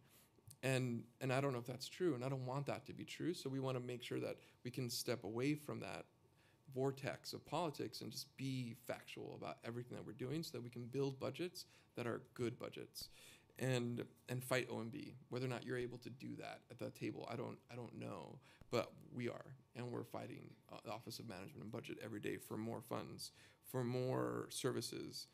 Um, so, um, and that also includes this concept of duplicating reports elsewhere. The buck stops with you, Commissioner. You are the Mayor's Office of Immigrant Affairs. All things immigrants need to come to you and through this annual report. I don't want to have to go search somewhere else for information that impacts immigrants. I want it all to be here. This is where it needs to belong, uh, so that we can all see it together and make analysis together. That's the interest of the law, so that we can have one place for everything. And so I'm really charging you to collect all the different pieces and not allow, not ask us as New Yorkers, especially as, as a chair of this committee, to go elsewhere to find data. This all belongs and should belong here. And belong over there too as well. DOH can do their things but they can all, they should all be here so that we can have one place. Um, i think i think that's it for me. Uh, thank you for being here today with your team thank you for all the work i know you're doing a lot of good work uh, but we're going to do better and we'll do that together Thank you. Thank you. Okay, uh, we're gonna go to our first panel. Thank you so much again for, for being here. Uh, the Asian American Federation, Tiffany Chang, uh, Jo-Ann Yoo, uh, the Asian American Federation, the African Communities Together, Amaha Kassa, um, and then also uh, Maimuna Diei from the African Communities Together. And I think that's it. If you're still here, we'd love to hear from you.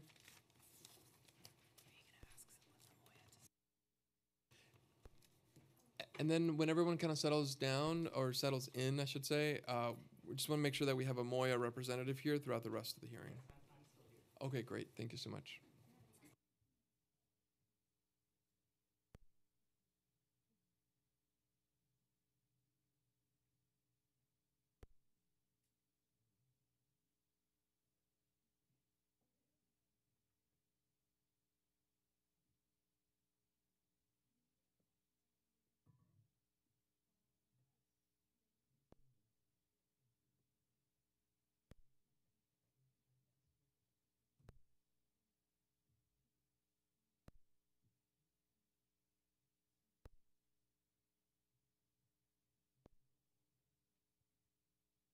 Okay, when you're ready.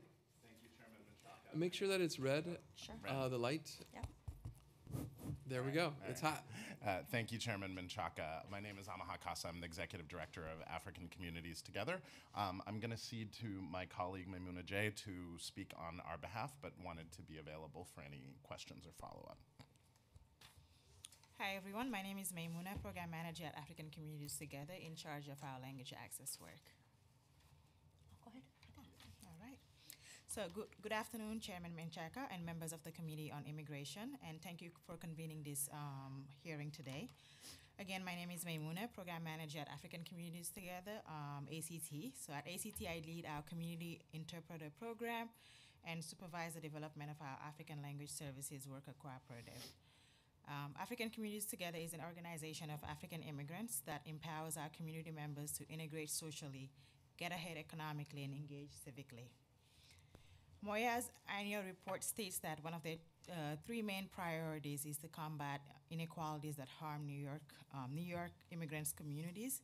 And one of their recommendations um, for fiscal year to 2019 is to lower barriers for immigrants to access services. So one of the uh, most significant barriers for immigrant communities in accessing services is language. Um, language barriers are particularly significant for communities that speak languages of limited um, diffusion, LLDs. LLDs uh, include most African languages, many Asian languages, and indig- indigenous Latin American languages.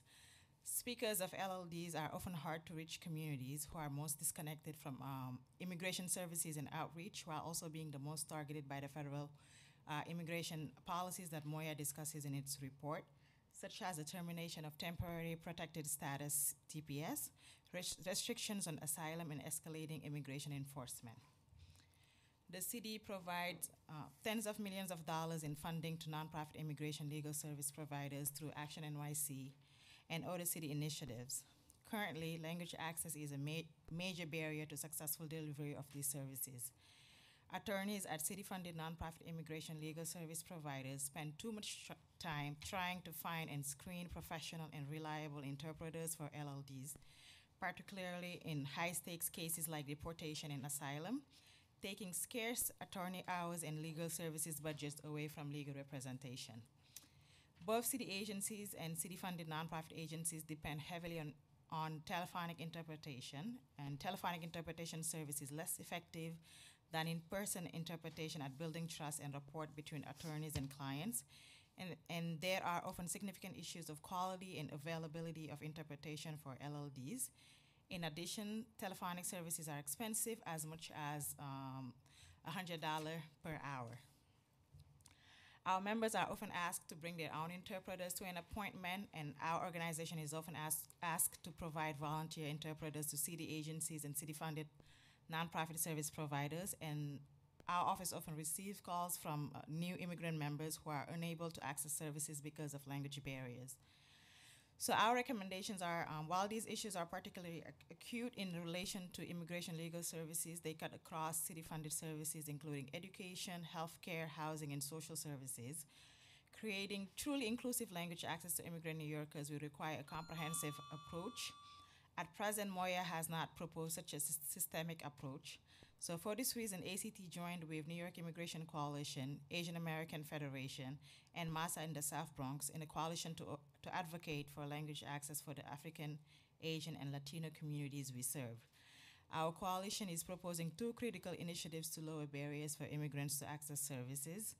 So the first one is being, uh, first one is the creation of a community legal interpreter bank that recruits, trains, and dispatches legal interpreters who provide services free of cost to city-funded nonprofit legal service providers. The second one is the development of a language service workers-owned cooperatives, um, community-based worker-owned agencies that build the pipeline of trained language services professionals while creating skilled employment and business ownership opportunities for New York immigrants um, communities.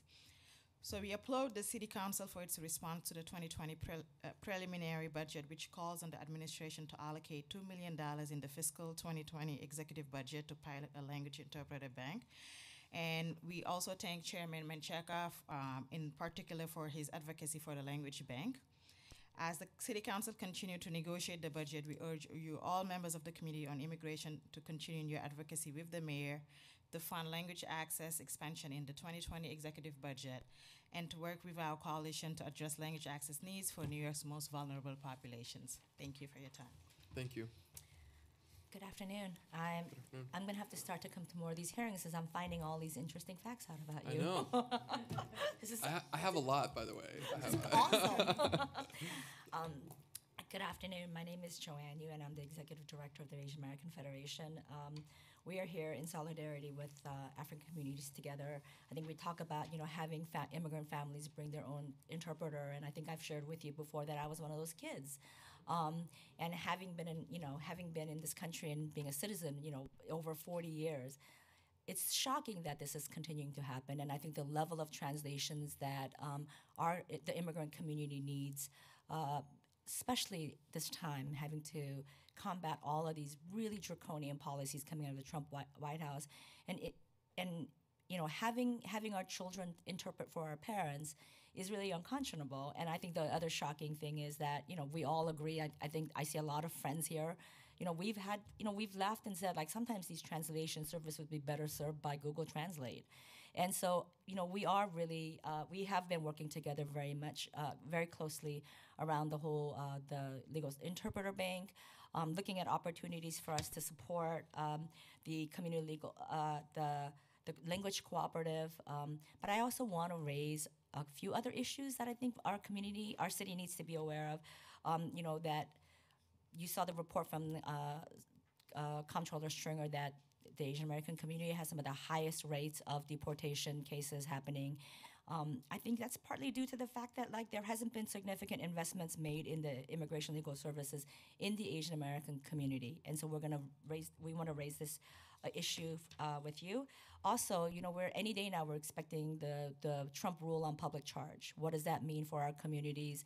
I think there is. I, I think the city had shared some statistics at a at a town hall we had, and they're saying that you know Asian American community is is not uh, is choosing to not enroll at eight times the rate of other communities, and I think those are really st- scary statistics statistics to us. So I think. Um, this time, you know, you know, my concern isn't, you know, happens to be, well, what happens to all those folks who are not re-enrolling? Because how will they eat? How will they have a roof over their heads? And how will they get medical assistance? So I think something that I want to put on the council and ask for your assistance. You know, is there an opportunity for the council to take the leadership to be able to convene some kind of a working group where we figure out what the plan is going to look like? It, you know when the, when the policy comes down because I think the reality is that the damage is done. You know whether whatever the policy is, people are choosing not choosing to opt out, and I think there's this is really scary time for vulnerable people. And finally, one of the you know we're all looking at the census. Um, Howard usually does usually does these uh, testimonies, but Howard is with the Census Bureau right now. Uh, you know at a conference, and he texted me this morning and something that uh, he told me that I think you know about. The census has is not going to put any money into uh, media for South Asian communities uh, throughout the country. So what does that what does that mean for um, the you know the Indian, the you know the, all of the South Asian communities who are not going to be able to get information in the census. So, is there an opportunity for the council to be able to uh, close the gap in the city to ensure that um, everybody in New York is aware of the census and they are not afraid to participate? Thank you. Thank you. That's it. Okay, I have questions and comments and um, maybe some more revelations. We'll see if I if I'm inspired. Um, I want to start with the interpreter bank. Uh, so essentially, that's an idea that has been so inspiring and like a seed has grown into this blossoming bouquet of flowers in my head and then I think the heart of a lot of people that we're talking to. And so just thank you for that because this, this is an idea that is not a new idea, but could be transformed by the energy of a New York City and the funds of a New York City at a two million dollar rate. So I really want to talk a little bit about this in terms of what it what helped me sell this concept. We are in the middle of budget negotiations right now, and it's not it's not a secret that it it ended up in our negotiations budget or um, our budget response. And so tell me tell me about the legal interpreter bank, how how it how it launches, how it impacts census. Uh, it could it, it could impact census and the interpretations that we need. Jo-Ann, you talked about who how do we go to our communities? Well, does a language bank, the interpreter bank, the legal interpreter bank help do that uh, with the worker cooperative around um, trained language service professionals. So give me give me that that sense uh, so that we, one it's on record and that the people can hear it, but that that can really just make this point clear. Great. Um, I'll, I'll dive in on that to start with. Um, so, I mean, I think, uh, at, like you, um, Chairman Menchaca, we've been sort of inspired by the success of this model other places, and you know, good good artists steal from the best, right? Um, and so, um, you know, our proposal uh, was initially that the interpreter bank focus on provision of immigration legal services, um, just as sort of a piloting, you know, sort of to to um, uh, to to give us a place to start. Um, and as my colleague pointed out, you know, the city is already putting tens of millions of dollars into immigration legal services, and one of the key bottlenecks is immigration um, is is skilled, culturally competent. Um, interpretation and translation for immigration legal services. Um, and so, in order to recoup some of this investment, I mean, you say, saying, how do we sell this, right? We're already spending this money, it's just being spent badly, right? It's going to immigration legal service providers who are not specialists in recruiting, training, and managing uh, immigrant, you know, interpreters and should not have to be, right? They should really be spending their time preparing their clients for their asylum hearings or, you know, filing motions to, to keep them from from being deported. Um, if we centralize uh, these services, it en- enables us to have greater transparency, um, where we know what languages are we are, are being demanded most often, how much are we spending. Um, you know, $180 an hour is is you know is not an unusual rate for telephonic services. Um, with that at, at that at that amount, you can get you can put a lot of money in individual skilled professional interpreters projects if you're not also putting money in the pockets of these sort of uh, big agencies. Um, so I think those are those are some of the arguments. Um, I think what's been informative about engaging with you, with the um, with the council, and and uh, and and uh, and you know to some extent with the mayor's office, is that people see the need as being even greater um, than immigration legal services. Um, you know, so the questions have been census. How do we use this to reach language isolated communities? Um, social services, education, so forth. Um, I think we envisioned that around the co-ops. We hadn't necessarily envisioned that or env- envisioned that around the interpreter bank, but I think the potential is there, um, and it's it's just a question of of um, you know the resources to to get that off the ground and going.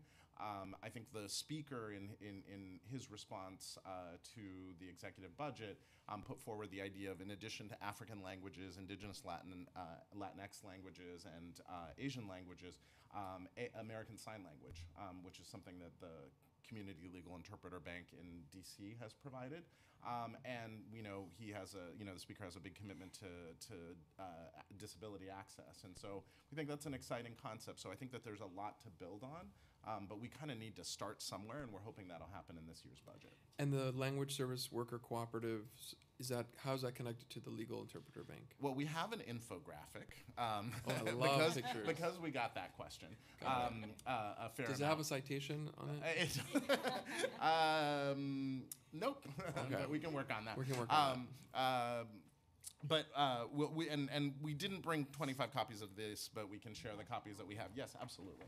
Um, uh, and actually, we have a couple more we can share.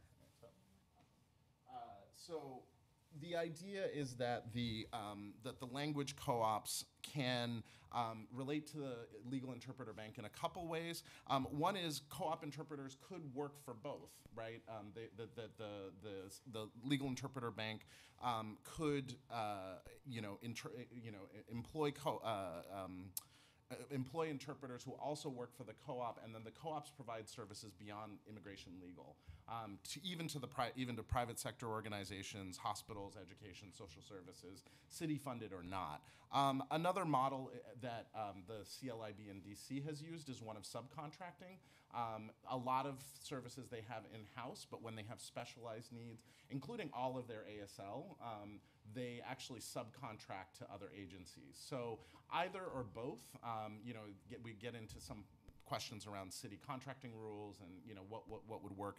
Um, although we are proposing that the CLIB be based in an independent, um, uh, not-for-profit agency, in part so that they can attract other revenue streams, whether that's private funding, state funding, um, uh, charitable funding, and so forth. One question that I got from many council members about the idea was hospitals uh, have rules on information and who can be in the room. Uh, how are those, and and in courts as well? Uh, they take sworn uh, oaths. Yep. Can you talk a little bit about how those things are not issues in terms of the co-ops, the, the worker cooperatives, and the bank itself, the interpreter bank? Yep. Um, so I think it, it, I- think uh, there, part of the goal is to provide a baseline um, of uh, of some skills that are app- that are broadly applicable to all interpreters and translators. Right? Um, there's a, there's frankly a, a little bit of a lack of a unified standard around interpretation. There are standards. Um, you know, the, the New York State courts have their standards. There's some standards within the healthcare setting. Um, so, but things like training on professional ethics, um, training on how how to manage. Um, uh, situations where you know where there's a misunderstanding or a lack of uh, communication between the provider and the client. Um, those things are universal. Um, the co-ops can actually be a vehicle for people to get uh, more advanced professional training and certification in things like uh, in, in legal, um, in healthcare, and in other settings. Um, we don't necessarily think that everyone who is in the co-ops is going to be able to translate at every level um, right away. Um, but the point of all of this, and I, I, will underscore, you know, I think it's an issue for all our communities, but um, talking to MASA and to other organizations, indigenous Latin American languages are, you know, really in a, a, crisis of access, right? Um, it's going to really take building a pipeline um, and a place where, you know, we can centralize things like training. Um, um, and in some cases, that's basic uh, English language proficiency and fluency in order to get people to where uh, they, they can be professional translators, um, interpreters and translators. Um, so that's what. So we're trying to build the pipeline, um, and prov- and I think when we our budget proposal, some of the key costs are bringing in. Um, the training resources, the training, and, and then also covering the costs of people for professional certifications. So the two million would cover both the the the bank, the interpreter bank, and the worker cooperative uh, build out? Yeah, the, the total proposal for this is is three million dollars. But like we said, we think this is something that um, can attract multiple revenue streams. Um, uh, you know, including the state and including private funders. Um, I think uh, you know we would there we would need to be some engagement as to how that council recommendation of $2 million breaks out between the co-ops and the community legal interpreter bank. But the biggest single line item in both, I mean, there's staffing and training and those costs. Biggest single a- a line item, particularly on the CLIB, is actually the paid hours of interpretation, right? You know, if we pay someone $50 an hour, um, uh, you know, which again is still significantly less than we're paying some of these telephonic service providers. How many hours of interpretation can we buy so that when you know, uh, you know, a city-funded immigration legal service provider needs a Oromo or Quechua or you know um, or or um, Hmong translator for uh, interpreter for next week, they can apply and know that that's going to be provided by the interpreter bank. Got it. Um, I can talk forever on this. I'm going to pause here and just say thank you for, for the questions. I have enough to go back. I don't know what's going to happen with the budget. I have to say that. Um, I don't know. I hope I hope I'm going to fight really hard, and it's not just me. I think a lot of people are really excited about this, but we'll see. We'll see what happens. Um, that's non-committal, um, but the work that's happening in the uh, in the report, the annual report, or the work, the intentions maybe uh, on page 42. The report, the annual report says that it's expanded and deepened legal service provisions to Chinese, Korean, and South Asian serving organizations and communities. Um, it doesn't sound like that's happened, and and so I want to get a sense from you about whether or not there's been MOIA outreach that's been expanded. Because Sure. it's one thing to say it's expanded, yeah, but we need more, or there's been no expansion, we haven't felt it, and I think the commissioner has made a lot of efforts to expand um, outreach and just to get, you know, if anything, just to get the information out there, right, to people about their rights and what is happening. Um, but I think I think the reality is that there isn't a nonprofit organization that, you know, uh, serves in language in our in my community, and so I think that's a huge challenge. I think we often, you know, this is where the language bank idea comes from. Like, how we have to borrow, you know, borrow skills to be able to explain, and now more than ever. Um, I think, you know, for the last four years, the Federation's been trying to build a nonprofit organization that will serve the Asian American immigration legal services in language. And I think that's really critical. And I think, um, you know, I think MOIA does a great job, um, but I think we can always do better, especially now uh, with all of the policies that are happening. So, you know, we continue to work with the commissioner, with MOIA, and talk to the commissioner regularly and um, present ideas, and they've been very receptive. Uh, but you know, you, you build on the good work that you're doing by being even better. I couldn't um, agree more. Uh, so last question is, um, well, actually, I'll, I'll, I'll start with a little bit of a, a revelation. So I'm thinking about language too, and not in terms of legal services or whatever, but uh, yoga. So I, I just got certified as a 200 hour um, yoga trainee. Another fun fact, uh, like a month, like a week ago, a week and a half ago, and there's nothing in Spanish, and I want to bring yoga to Spanish-speaking folks uh, in my work. So I'm putting a call out right now if anybody's a Spanish yoga teacher. And so these are these are things um, access points. And then I think about young people like us, Jo-Ann, and all, probably all of you in our all the things that we just talked about, certifications, understanding hospitals and how they work. Right now, young kids are doing that in communities. We did that for our parents, um, and that's not okay. And look at all the all the millions of dollars that have to go to do the training. That's what we're talking about. That's the gap of of of of um, access issues between a service and a family, and all of this is being on the on is a burden on young people in our in our communities in our mixed status families. And I think it's really a health crisis. I mean, it's a crisis because you know, if, as a nine-year-old kid, you know, I didn't have the vocabulary to translate for certain issues, medical insur- medical issues, yeah.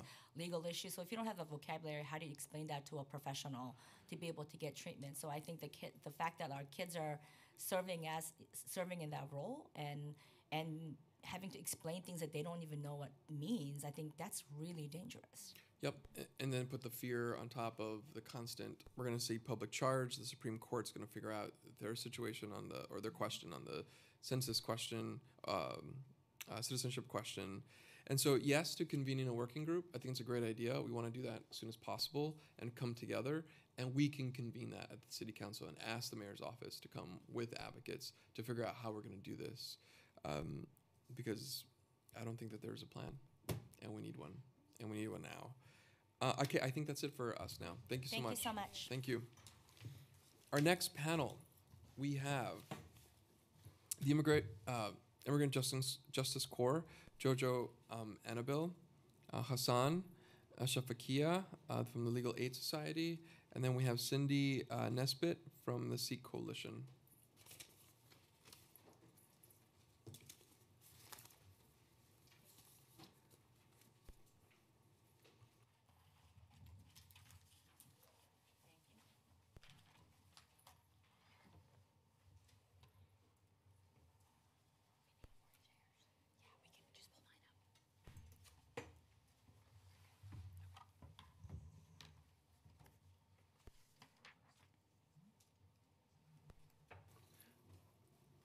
Jojo, you want to start? Sure. I was, going to defer to the big voice, but um, I think I can do it. so, um, good afternoon. My name is Jojo Annobil. I'm the Executive Director of Immigrant Justice Corps. And um, it's a pleasure to be here and to be able to comment on MOIA's annual report, 2019 annual report. Um, I think, first of all, what I would say is that we've worked very closely with MOIA in terms of some of the work they've done in immigration. We happen to share space with them in community in community-based organizations, Arab American Association of New York City, uh, where because of our infusion of fellows into that community-based organization, they were able to get um, funding from MOIA to put in navigators, and in a couple of probably two years, became the largest serving um, legal service provider or community-based uh, provider in South Brooklyn. So a lot of work has been done when we talk about underserved communities and where people are not going. Uh, we've served with MOIA in libraries. We have fellows in all the libraries where they are there four days a week. Um, MOIA supplements that with naturalization clinics and help desks. Uh, we are in some of the um, African communities trying to build up on some of those areas. We, we have the Chinese Planning Council, MOIA is also there. So in that respect, we've, I think you see a lot of progress in terms of um, providing services in underserved communities. Uh, we've also reached out, we, we serve the Korean community, so does MOIA, serve the Chinese community, so does MOIA. But definitely there are gaps, and I think there are gaps where you look at, there's a navigation, uh, navigators program, But is it possible for us to move into community navigators? Have probably more navigators in communities who can impart information, do know your rights in, um, in communities, come up with, be able to surface problems that are happening in communities. So, for example, in South Brooklyn, where you have the Arab community, where there are a lot of USCIS um, uh, policy issues that affect them, but it's very difficult for them usually sometimes to access uh, legal services, right? And so trying to work on those. Is it also possible to think about community mental health clinics? Because what we're seeing right now is a lot of fear and anxiety. How do you explain to a kid whose parent is in removal proceedings what is going on? How do you talk to a child like that? How do we educate uh, some of our, our, our parents to talk to children about some of the things that are going on? How do you explain some of the fear? The fear that if I go to school and I come back home, probably my parents will not be here. How do we do that? We don't have that. And it, it, there's a need for that, which would also inform some of the work as legal service providers we do. So I think those two are my two comments in terms of gaps. So thank you. Good afternoon. My name is Hassan Shafiqullah. I'm the attorney in charge of the immigration unit at the Legal Aid Society, and thank you for holding this hearing. Um, I do want to give a shout out to MOIA and to HRA for some from things that they did really well. And part of this is a result of hearings that this committee held um, late last year around the Immigrant Opportunities Initiative in particular.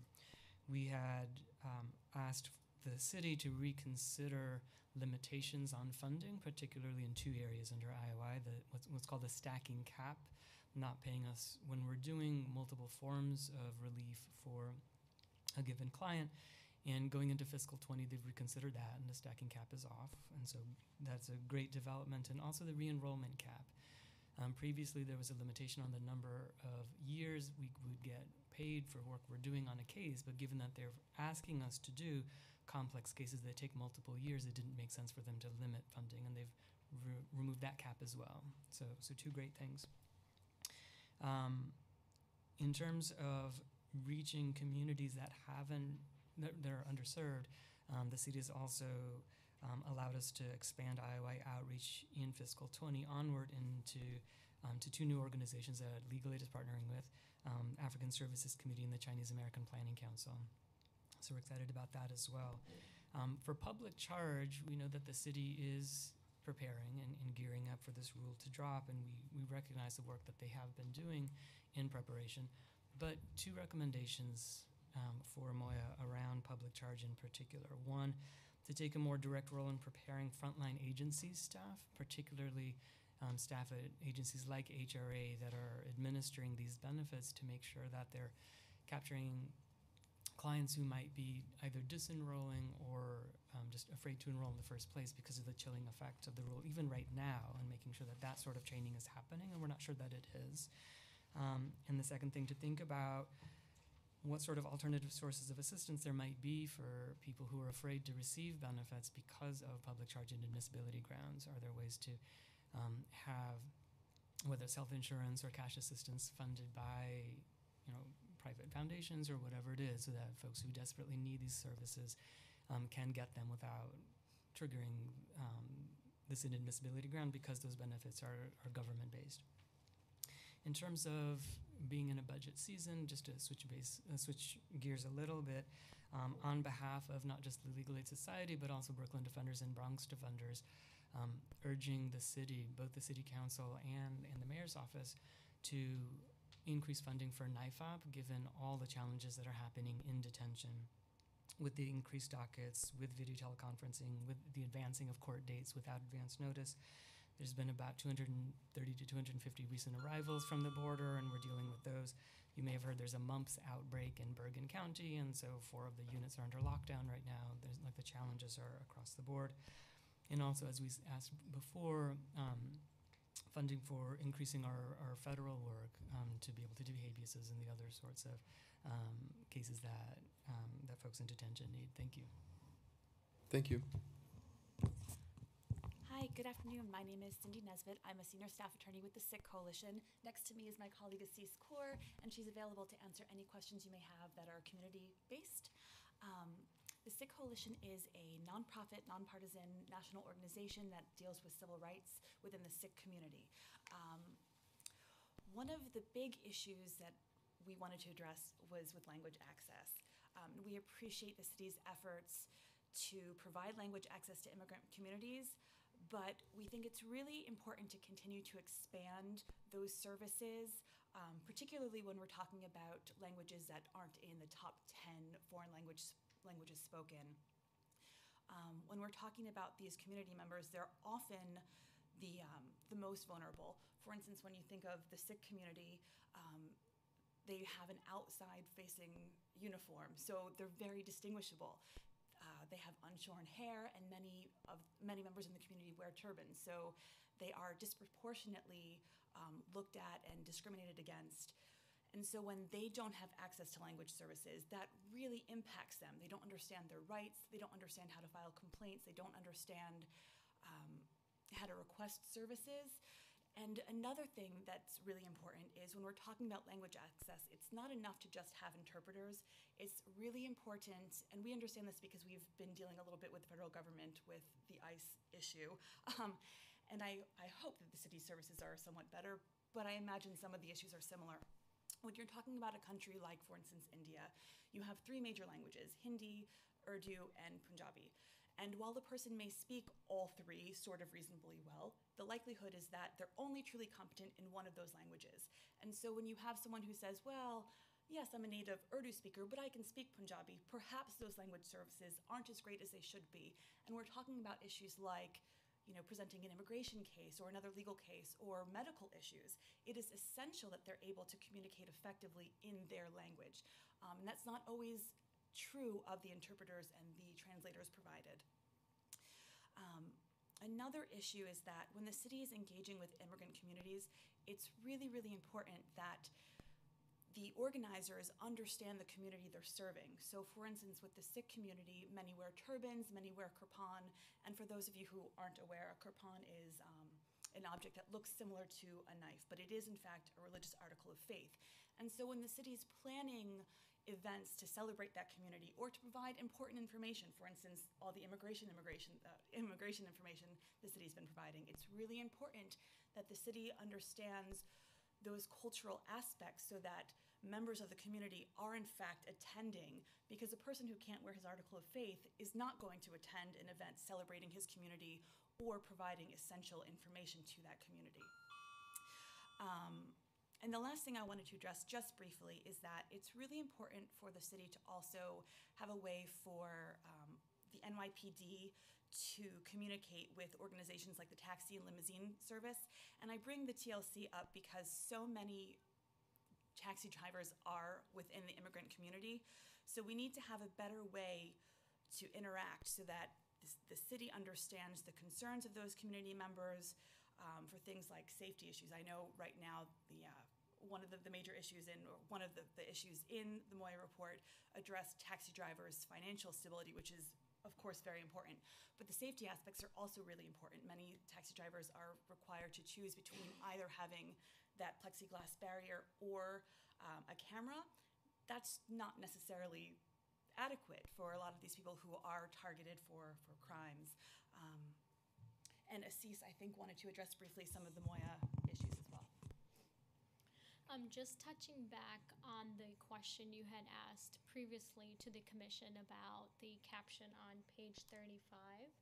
Um, although the Sikh Coalition did collaborate with CCHR, MOIA, and other um, comptroller office and some of the other agencies in the city to um, put together the event, um, I can confirm that we were not consulted about um, this report or that caption in particular. So I, I feel those are two distinctions that need to be made. We all work together on the event, but um, seeing the report in its entirety was our first time seeing it, so we were not consulted or we didn't review the report. Thank you, and, and uh, we wanted to have the opportunity to for you to talk a little bit about that, and uh, we definitely want to make sure that gets corrected, uh, and really across the board on anything that happens. Mm-hmm. Um, in terms of print or even um, how how we celebrate. And these are the events themselves.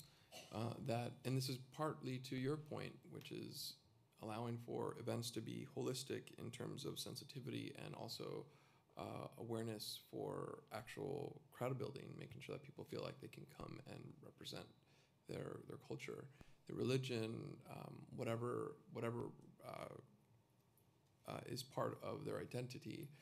And for immigrant communities, it's gonna it's gonna range. And so we, we hear that. So thanks for confirming that. Yeah. Um, and then also the request for us is for them to to change it. Yes, um, and you know, speaking a little bit more about the Vaisakhi event, there the huge reason why it was at Kimmel Center and not a city building had to do with religious accommodations. Last year, when it was the first ever event, it was at um, I want to say one of the buildings on Center Street nearby here. Um, but this year we wanted to kind of bypass the security issues, so we chose a location where um, community members would not need to request for accommodations, or we wouldn't have to deal with it. The city wouldn't have to deal with it.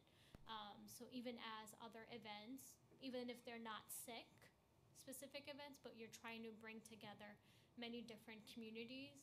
Um, thinking if DCAS or any of the other, you know, city um, security personnel type might be there, it's important to remember that, you know, even downstairs, like I alarm, um, to think that it will discourage community members from showing up if they know they'll have to, like, sometimes in their broken English, have to explain what their articles of faith are.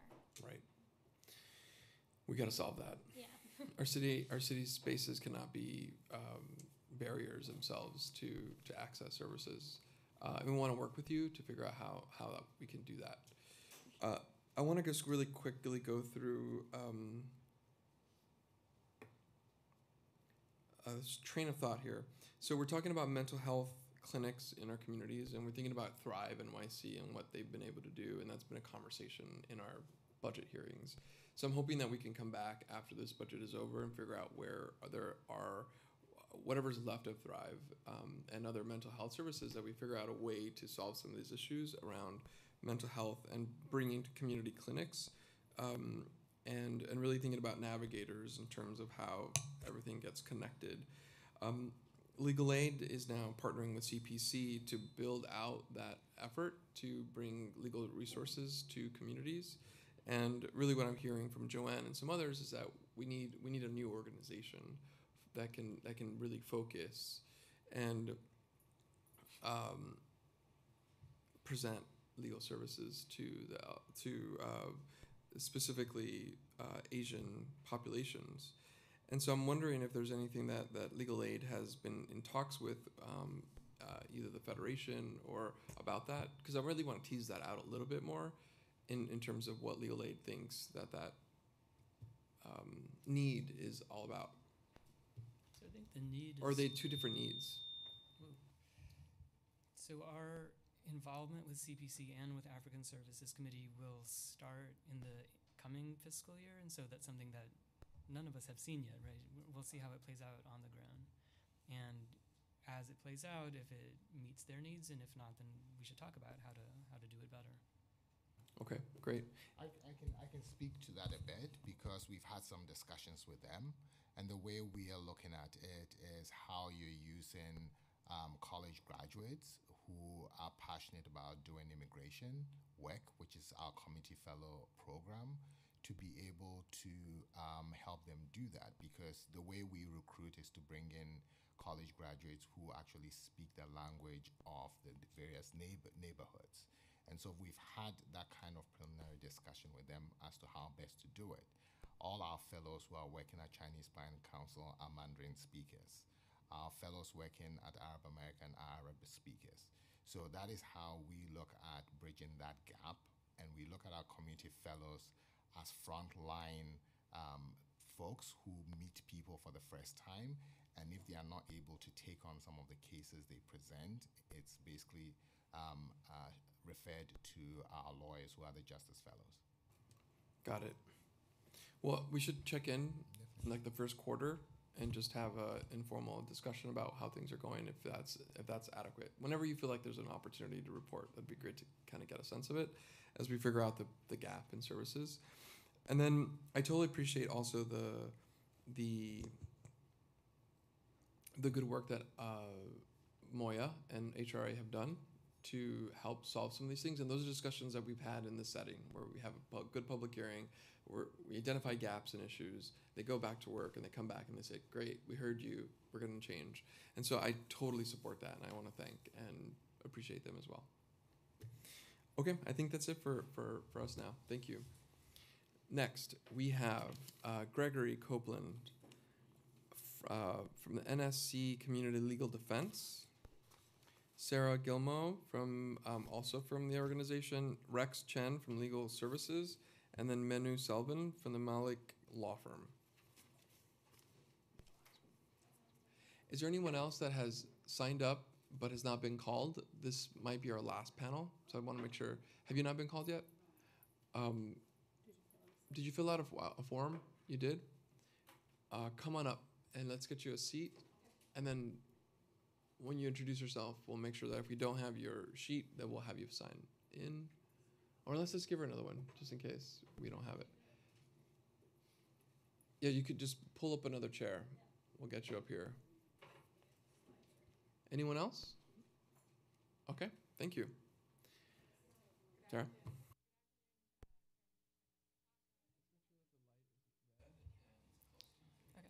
Uh, Good afternoon, Chairman Menchaca, and thank you for the opportunity uh, for us to testify regarding MOIA's report. My name is Sarah Gillman. I'm one of the co-legal directors of NSC Community Legal Defense. My fellow co-legal director is here, Gregory Copeland. We make up the entire organization. Um, NSC is a new and innovative legal services organization led by Gregory and myself. Um, we're focused on addressing the current uh, unmet needs um, in a flexible and rapid way that can respond to the ever-changing attacks on our immigrant community um, and the increased enforcement, um, unfortunately, efforts by the Trump administration. The MOIA report demonstrates the extraordinary commitment of the City of New York and its legal services providers to serving our immigrant community members. At the same time, it highlights the need for expanded investment and new initiatives addressing rapid response needs and gaps in truly facilitating, facilitating universal access to justice for non-citizen New Yorkers. Critical to most effectively responding to the relentless attacks on immigrants, as the report identifies, is collaboration and the effective coordination of programs. Legal services providers and community-based organizations recognize the urgent need to work alongside government partners, avoiding costly duplication of work in a concerted effort to help protect and ensure universal access to justice for non-citizens in New York. NSC Defense, or an NSC Community Legal Defense, requests um, MOIA, the City Council, legal services providers, and community-based organizations work collaboratively in the coming year to fund and facilitate necessary new initiatives, including NSC Defense, to most efficiently and effectively meet our communal aspiration in providing all non-citizens in New York meaningful access to justice and to combat the incessant attacks on non-citizens in New York City. NSC Community Defense, in particular, uh, has focused, and prior to our uh, beginning this organization, we were at another organization where we focused on individuals who have final orders of removal. In the past, these individuals um, were beneficiaries of the prior administration's um, decision not to target them. However, under the Trump administration, we all have seen, and I think the MOIA report um, addresses the fact that this group of people has been uh, targeted. Non-citizens with final orders of removal are both generally ineligible for legal services currently provided in New York City and also at greater risk of summary and immediate deportation. Defending this population of non-citizens requires representation combining flexibility to respond instantly with expertise assessing emergency relief in federal courts, most often in the form of temporary restraining order to prevent removal as legal claims are presented. The experience working in immigration court system, including the Board of Immigration Appeals level, to holistically assess cases and opportunities for relief from removal not previously pursuing or competently presented. And three, the ability to engage and involve community-based organizations, other le- legal service providers, elected officials, and any other available resources or partners to put forth a comprehensive defense. The MOIA report is both a testament to the immigration services currently provided in New York City, as well as an unsettling reminder of the overwhelming need for legal defense that is not provided by other organizations in New York City. NSC Community Legal Defense, in particular, provides um, representation in federal litigation that has been effective and proven to stop deportations and allow New Yorkers to remain with their communities and their families.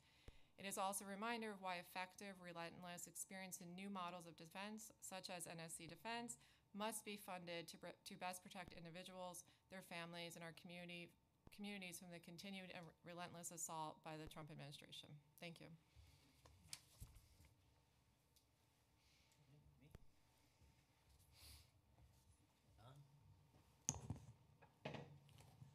Good afternoon. Uh, my name is Rex Chen. I'm the Director of Immigration for Legal Services NYC. Um, LSNYC helps over 100,000 low income New Yorkers every year with a wide range of civil legal services. Um, we helped over 20,000 immigrants and their family members with immigration services uh, last year, including helping asylum seekers and domestic violence victims. Um, our intake staff saw a large increase in immigration questions uh, since November 2016, and we continue to get a hi- very high volume of immigration questions. Uh, in the past two years, um, the number of people who benefited from our immigration services increased by 30%. Um, so thank you for your support. Um, turning to some things about MOIA's plan for 2019, uh, we do appreciate the focus on economic justice for immigrant New Yorkers. Um, LSNYC held a conference uh, just yesterday where our entire staff brainstormed about economic justice issues and the systemic barriers to equality. So it won't be easy, but we're glad that MOIA and the City Council are thinking about it. And we also appreciate MOIA's work on language access issues. Uh, we have seen how important this issue is. LSNYC has been working on language access issues with NYCHA, uh, with the court system, and also in other areas. Um, so we're looking forward to working with you and with MOIA in these challenging times. Thank you. Thank you.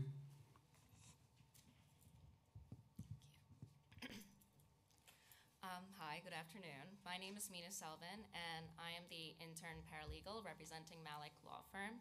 Uh, it's truly an honor to, uh, to speak before you, and I'm impressed with the city's efforts um, in being proactive and advocating for immigrants in NYC. So, since the start of my internship, I had the fortune of receiving a vast exposure to different immigration cases. I had the opportunity to meet clients who had been victims of violence and clients who are in removal proceedings. I have begun working on cancellations of removal proceedings for some clients, including some of them are students who have been studying in the US and now are being challenged with the psychological, economic, and financial hardships provoked by their removal from the US. And it is truly disheartening to witness the difficulties our firm's clients and immigrants nationwide face because of the issues with the system as a student at the University of Notre Dame, um, I've been inspired to pursue social justice issues, um, especially since the foundation of my school is rooted in protecting the dignity of all human beings. Um, so we need the city and the mayor to be on our side to protect the rights of immigrants, especially under this administration. The increasingly strict scrutiny of immigrants under this administration is self-destructive because it has harmed family members, like children and spouses who are U- United States citizens and are subject to suffering because they lo- no longer have the emotional and financial support of a parent and or spouse. So, in addition, the administration has capped the amount of cases uh, an immigration judge can cancel. In, uh, by the time the judge reads a case, the children will age out and will no longer be eligible for cancellation. Um, there's no reason for a cap, and it's detrimental to American society. So we need the aid of your office, mayor's office, to lobby Congress in removing the cap on the cases that can be canceled. Um, thank you for your time, and I appreciate appreciate you offering us the platform to raise our concerns. Thank you for that. Thank you. Hi, good afternoon. Uh, my name is Chhaya Chalman. Thank you, um, Chair Menchaca, for holding this hearing. Um, I am the executive director of Mekong NYC. Um, and thank you for um, um, bringing up our community issue early as well. And so Mekong is uh, the only organization in New York City that serves the Southeast Asian community. Um, and our mission is to improve the quality of life of the Southeast Asian community in the Bronx and throughout New York City through community organizing, arts and culture programming, and providing a safety net through the improved access to critical social services. And, you know, we came here in the 1980s as part of the Refugee Resettlement Program. And in response to MOIA annual report, the service and program laid out in the report do not reach our community. Even more, this report and other assessments of immigrant communities and their needs in New York City often leave out our community's experience and the barrier facing our community who continue to be invisible. Since the 1980, approximately 10,000 Cambodians and Vietnamese have lived in the Bronx. The Southeast Asian refugee community have been in this country and New York City for almost 40 years. After being forced to flee Cambodia, Vietnam, and Laos because of the war in Southeast Asia, a conflict that was intensified the U.S. foreign policy agenda. As a result, our community experienced war, genocide, and refugee camps only to be brought into the U.S. as part of the largest resettlement program and into the ghettos. So we live at the intersection of what we call refugee poverty and also um, urban poverty. Um, here in New York City, Cambodians and Vietnamese were largely resettled into the Bronx, and you know we have one of the highest deportation rate of any community. And uh, you know, a few weeks ago when the movie came out, um, uh, I came as a refugee in 1985 with my family, and when the movie came out around Central Park Five, we have been holding a lot of these deportation cases of Cambodian young men and Vietnamese men who came when they were 12, 13, 14.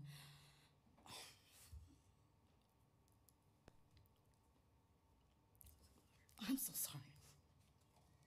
It's okay. Take your time. Who my brothers, my uncle, are now being deported. And we came as refugee children and were tried as an adult, incarcerated for years. And now what's happening in New York City that no one knows in New York State is the constant raids and roundup of Cambodians and Vietnamese and Laotian people and people that's been out of incarceration at detention centers for over 20 years. Ha- ha- nail salons and small businesses and all, everything, and, and now are being deported. Um, I mean, this, this is just one of the many issues that our community deal with, and I think that, you know, um, no one has asked what's the state of our community since our resettlement. Um, and the, fact of the matter is that we did our own research focus group, and it has remained the same. We're the most invisible, highest dropout rate, lowest income attainment, uh, working in nail salons and factories, um, and the the deportation of our people is the ultimate failure of the refugees resettlement program. And Mekong, as a small organization, we only started seven years ago. And in essence, we're doing everything because we're trying to undo or redo the refugee resettlement program. And we call upon the city to really re-examine and, re- and look at what's happening in our community and what, what has been, we've been abandoned by the government. Um, and there is um, a responsibility and accountability that I think we need to talk about and, and share around what, what has happened since our arrival to the United States in the Bronx in New York City. So thank you. Thank you for uh, the testimony, but also for highlighting what I think is incredibly important for us to understand, not just as a as a budget request or, but as as families with history and uh, with a sense of, of a, a real just demand for attention and especially as a New Yorker. So I want to say thank you for, for being here. Um, I did see your testimony before, um, which allowed me to ask the question that I did, and, and it didn't seem like there was a connection. And so she agreed to a meeting, and so I hope that she can go, and if I can go with her, uh, with Commissioner Mostofi, to go and visit and hear directly, um, that's the first step to a relationship building um, opportunity with the city agency. And then what I'm gonna kind of do an overview of all the all the work, be it the the, the kind of new uh, uh, the new focus on a response to Trump and what's happening with ICE and the deportation proceedings that are happening and the expanded sense of, of judges at uh, Varick Street, all of that um, begs us to change the way that we're doing it too. And and that's what we're trying to do. That's what we're trying. That's why we're being so uh, critical of this mayor right now to ensure that we can, he can do his best, not for any other reason than by the people of New York. And that's why you're here. And that's where we're here to listen. And I think one thing that I'm going to say as a final thought is when we think about language access as an example, and this, this may apply to everything else that we've been talking about, like legal services. Um, the idea that we have like top 10 languages and that we're going to do everything around top 10 languages doesn't fit to this question about immigrants being connected and feeling feeling visible, feeling heard, feeling connected to government. And that it might say to us, okay, so there's top 10 there, there are top 10 languages spoken in the city, so we should we should focus our maybe our TV ads and our subway ads on those uh, languages, but that we still have a plan to ensure that every single immigrant has a connection in some way. And so this is where the interpreter, the legal interpreter bank comes in to to fill in any gaps because any gap is unacceptable. Period. That's that's that's what I feel. That's what I believe. And and so uh, I'm I'm I'm proud of the work that we've been doing, and a lot of it is here. This is the partnership between you as the community, us as the council, and the mayor's office. That that's what this represents at the end of the day. But I'm not satisfied. I'm not. And I think that one of the things that we need to figure out is how we build those um, moments of legislative policy and budget victories to address those gaps. And this is why you're here, and this is why we heard very plainly about either legal services or uh, or communities that have felt invisible. That that is unacceptable here in the city of New York. We can we can do better, and and we will. And so with that, I'm going to say thank you all for being here today, and for um, for your for your responses and for your ideas. And let's continue the conversation. Thank you.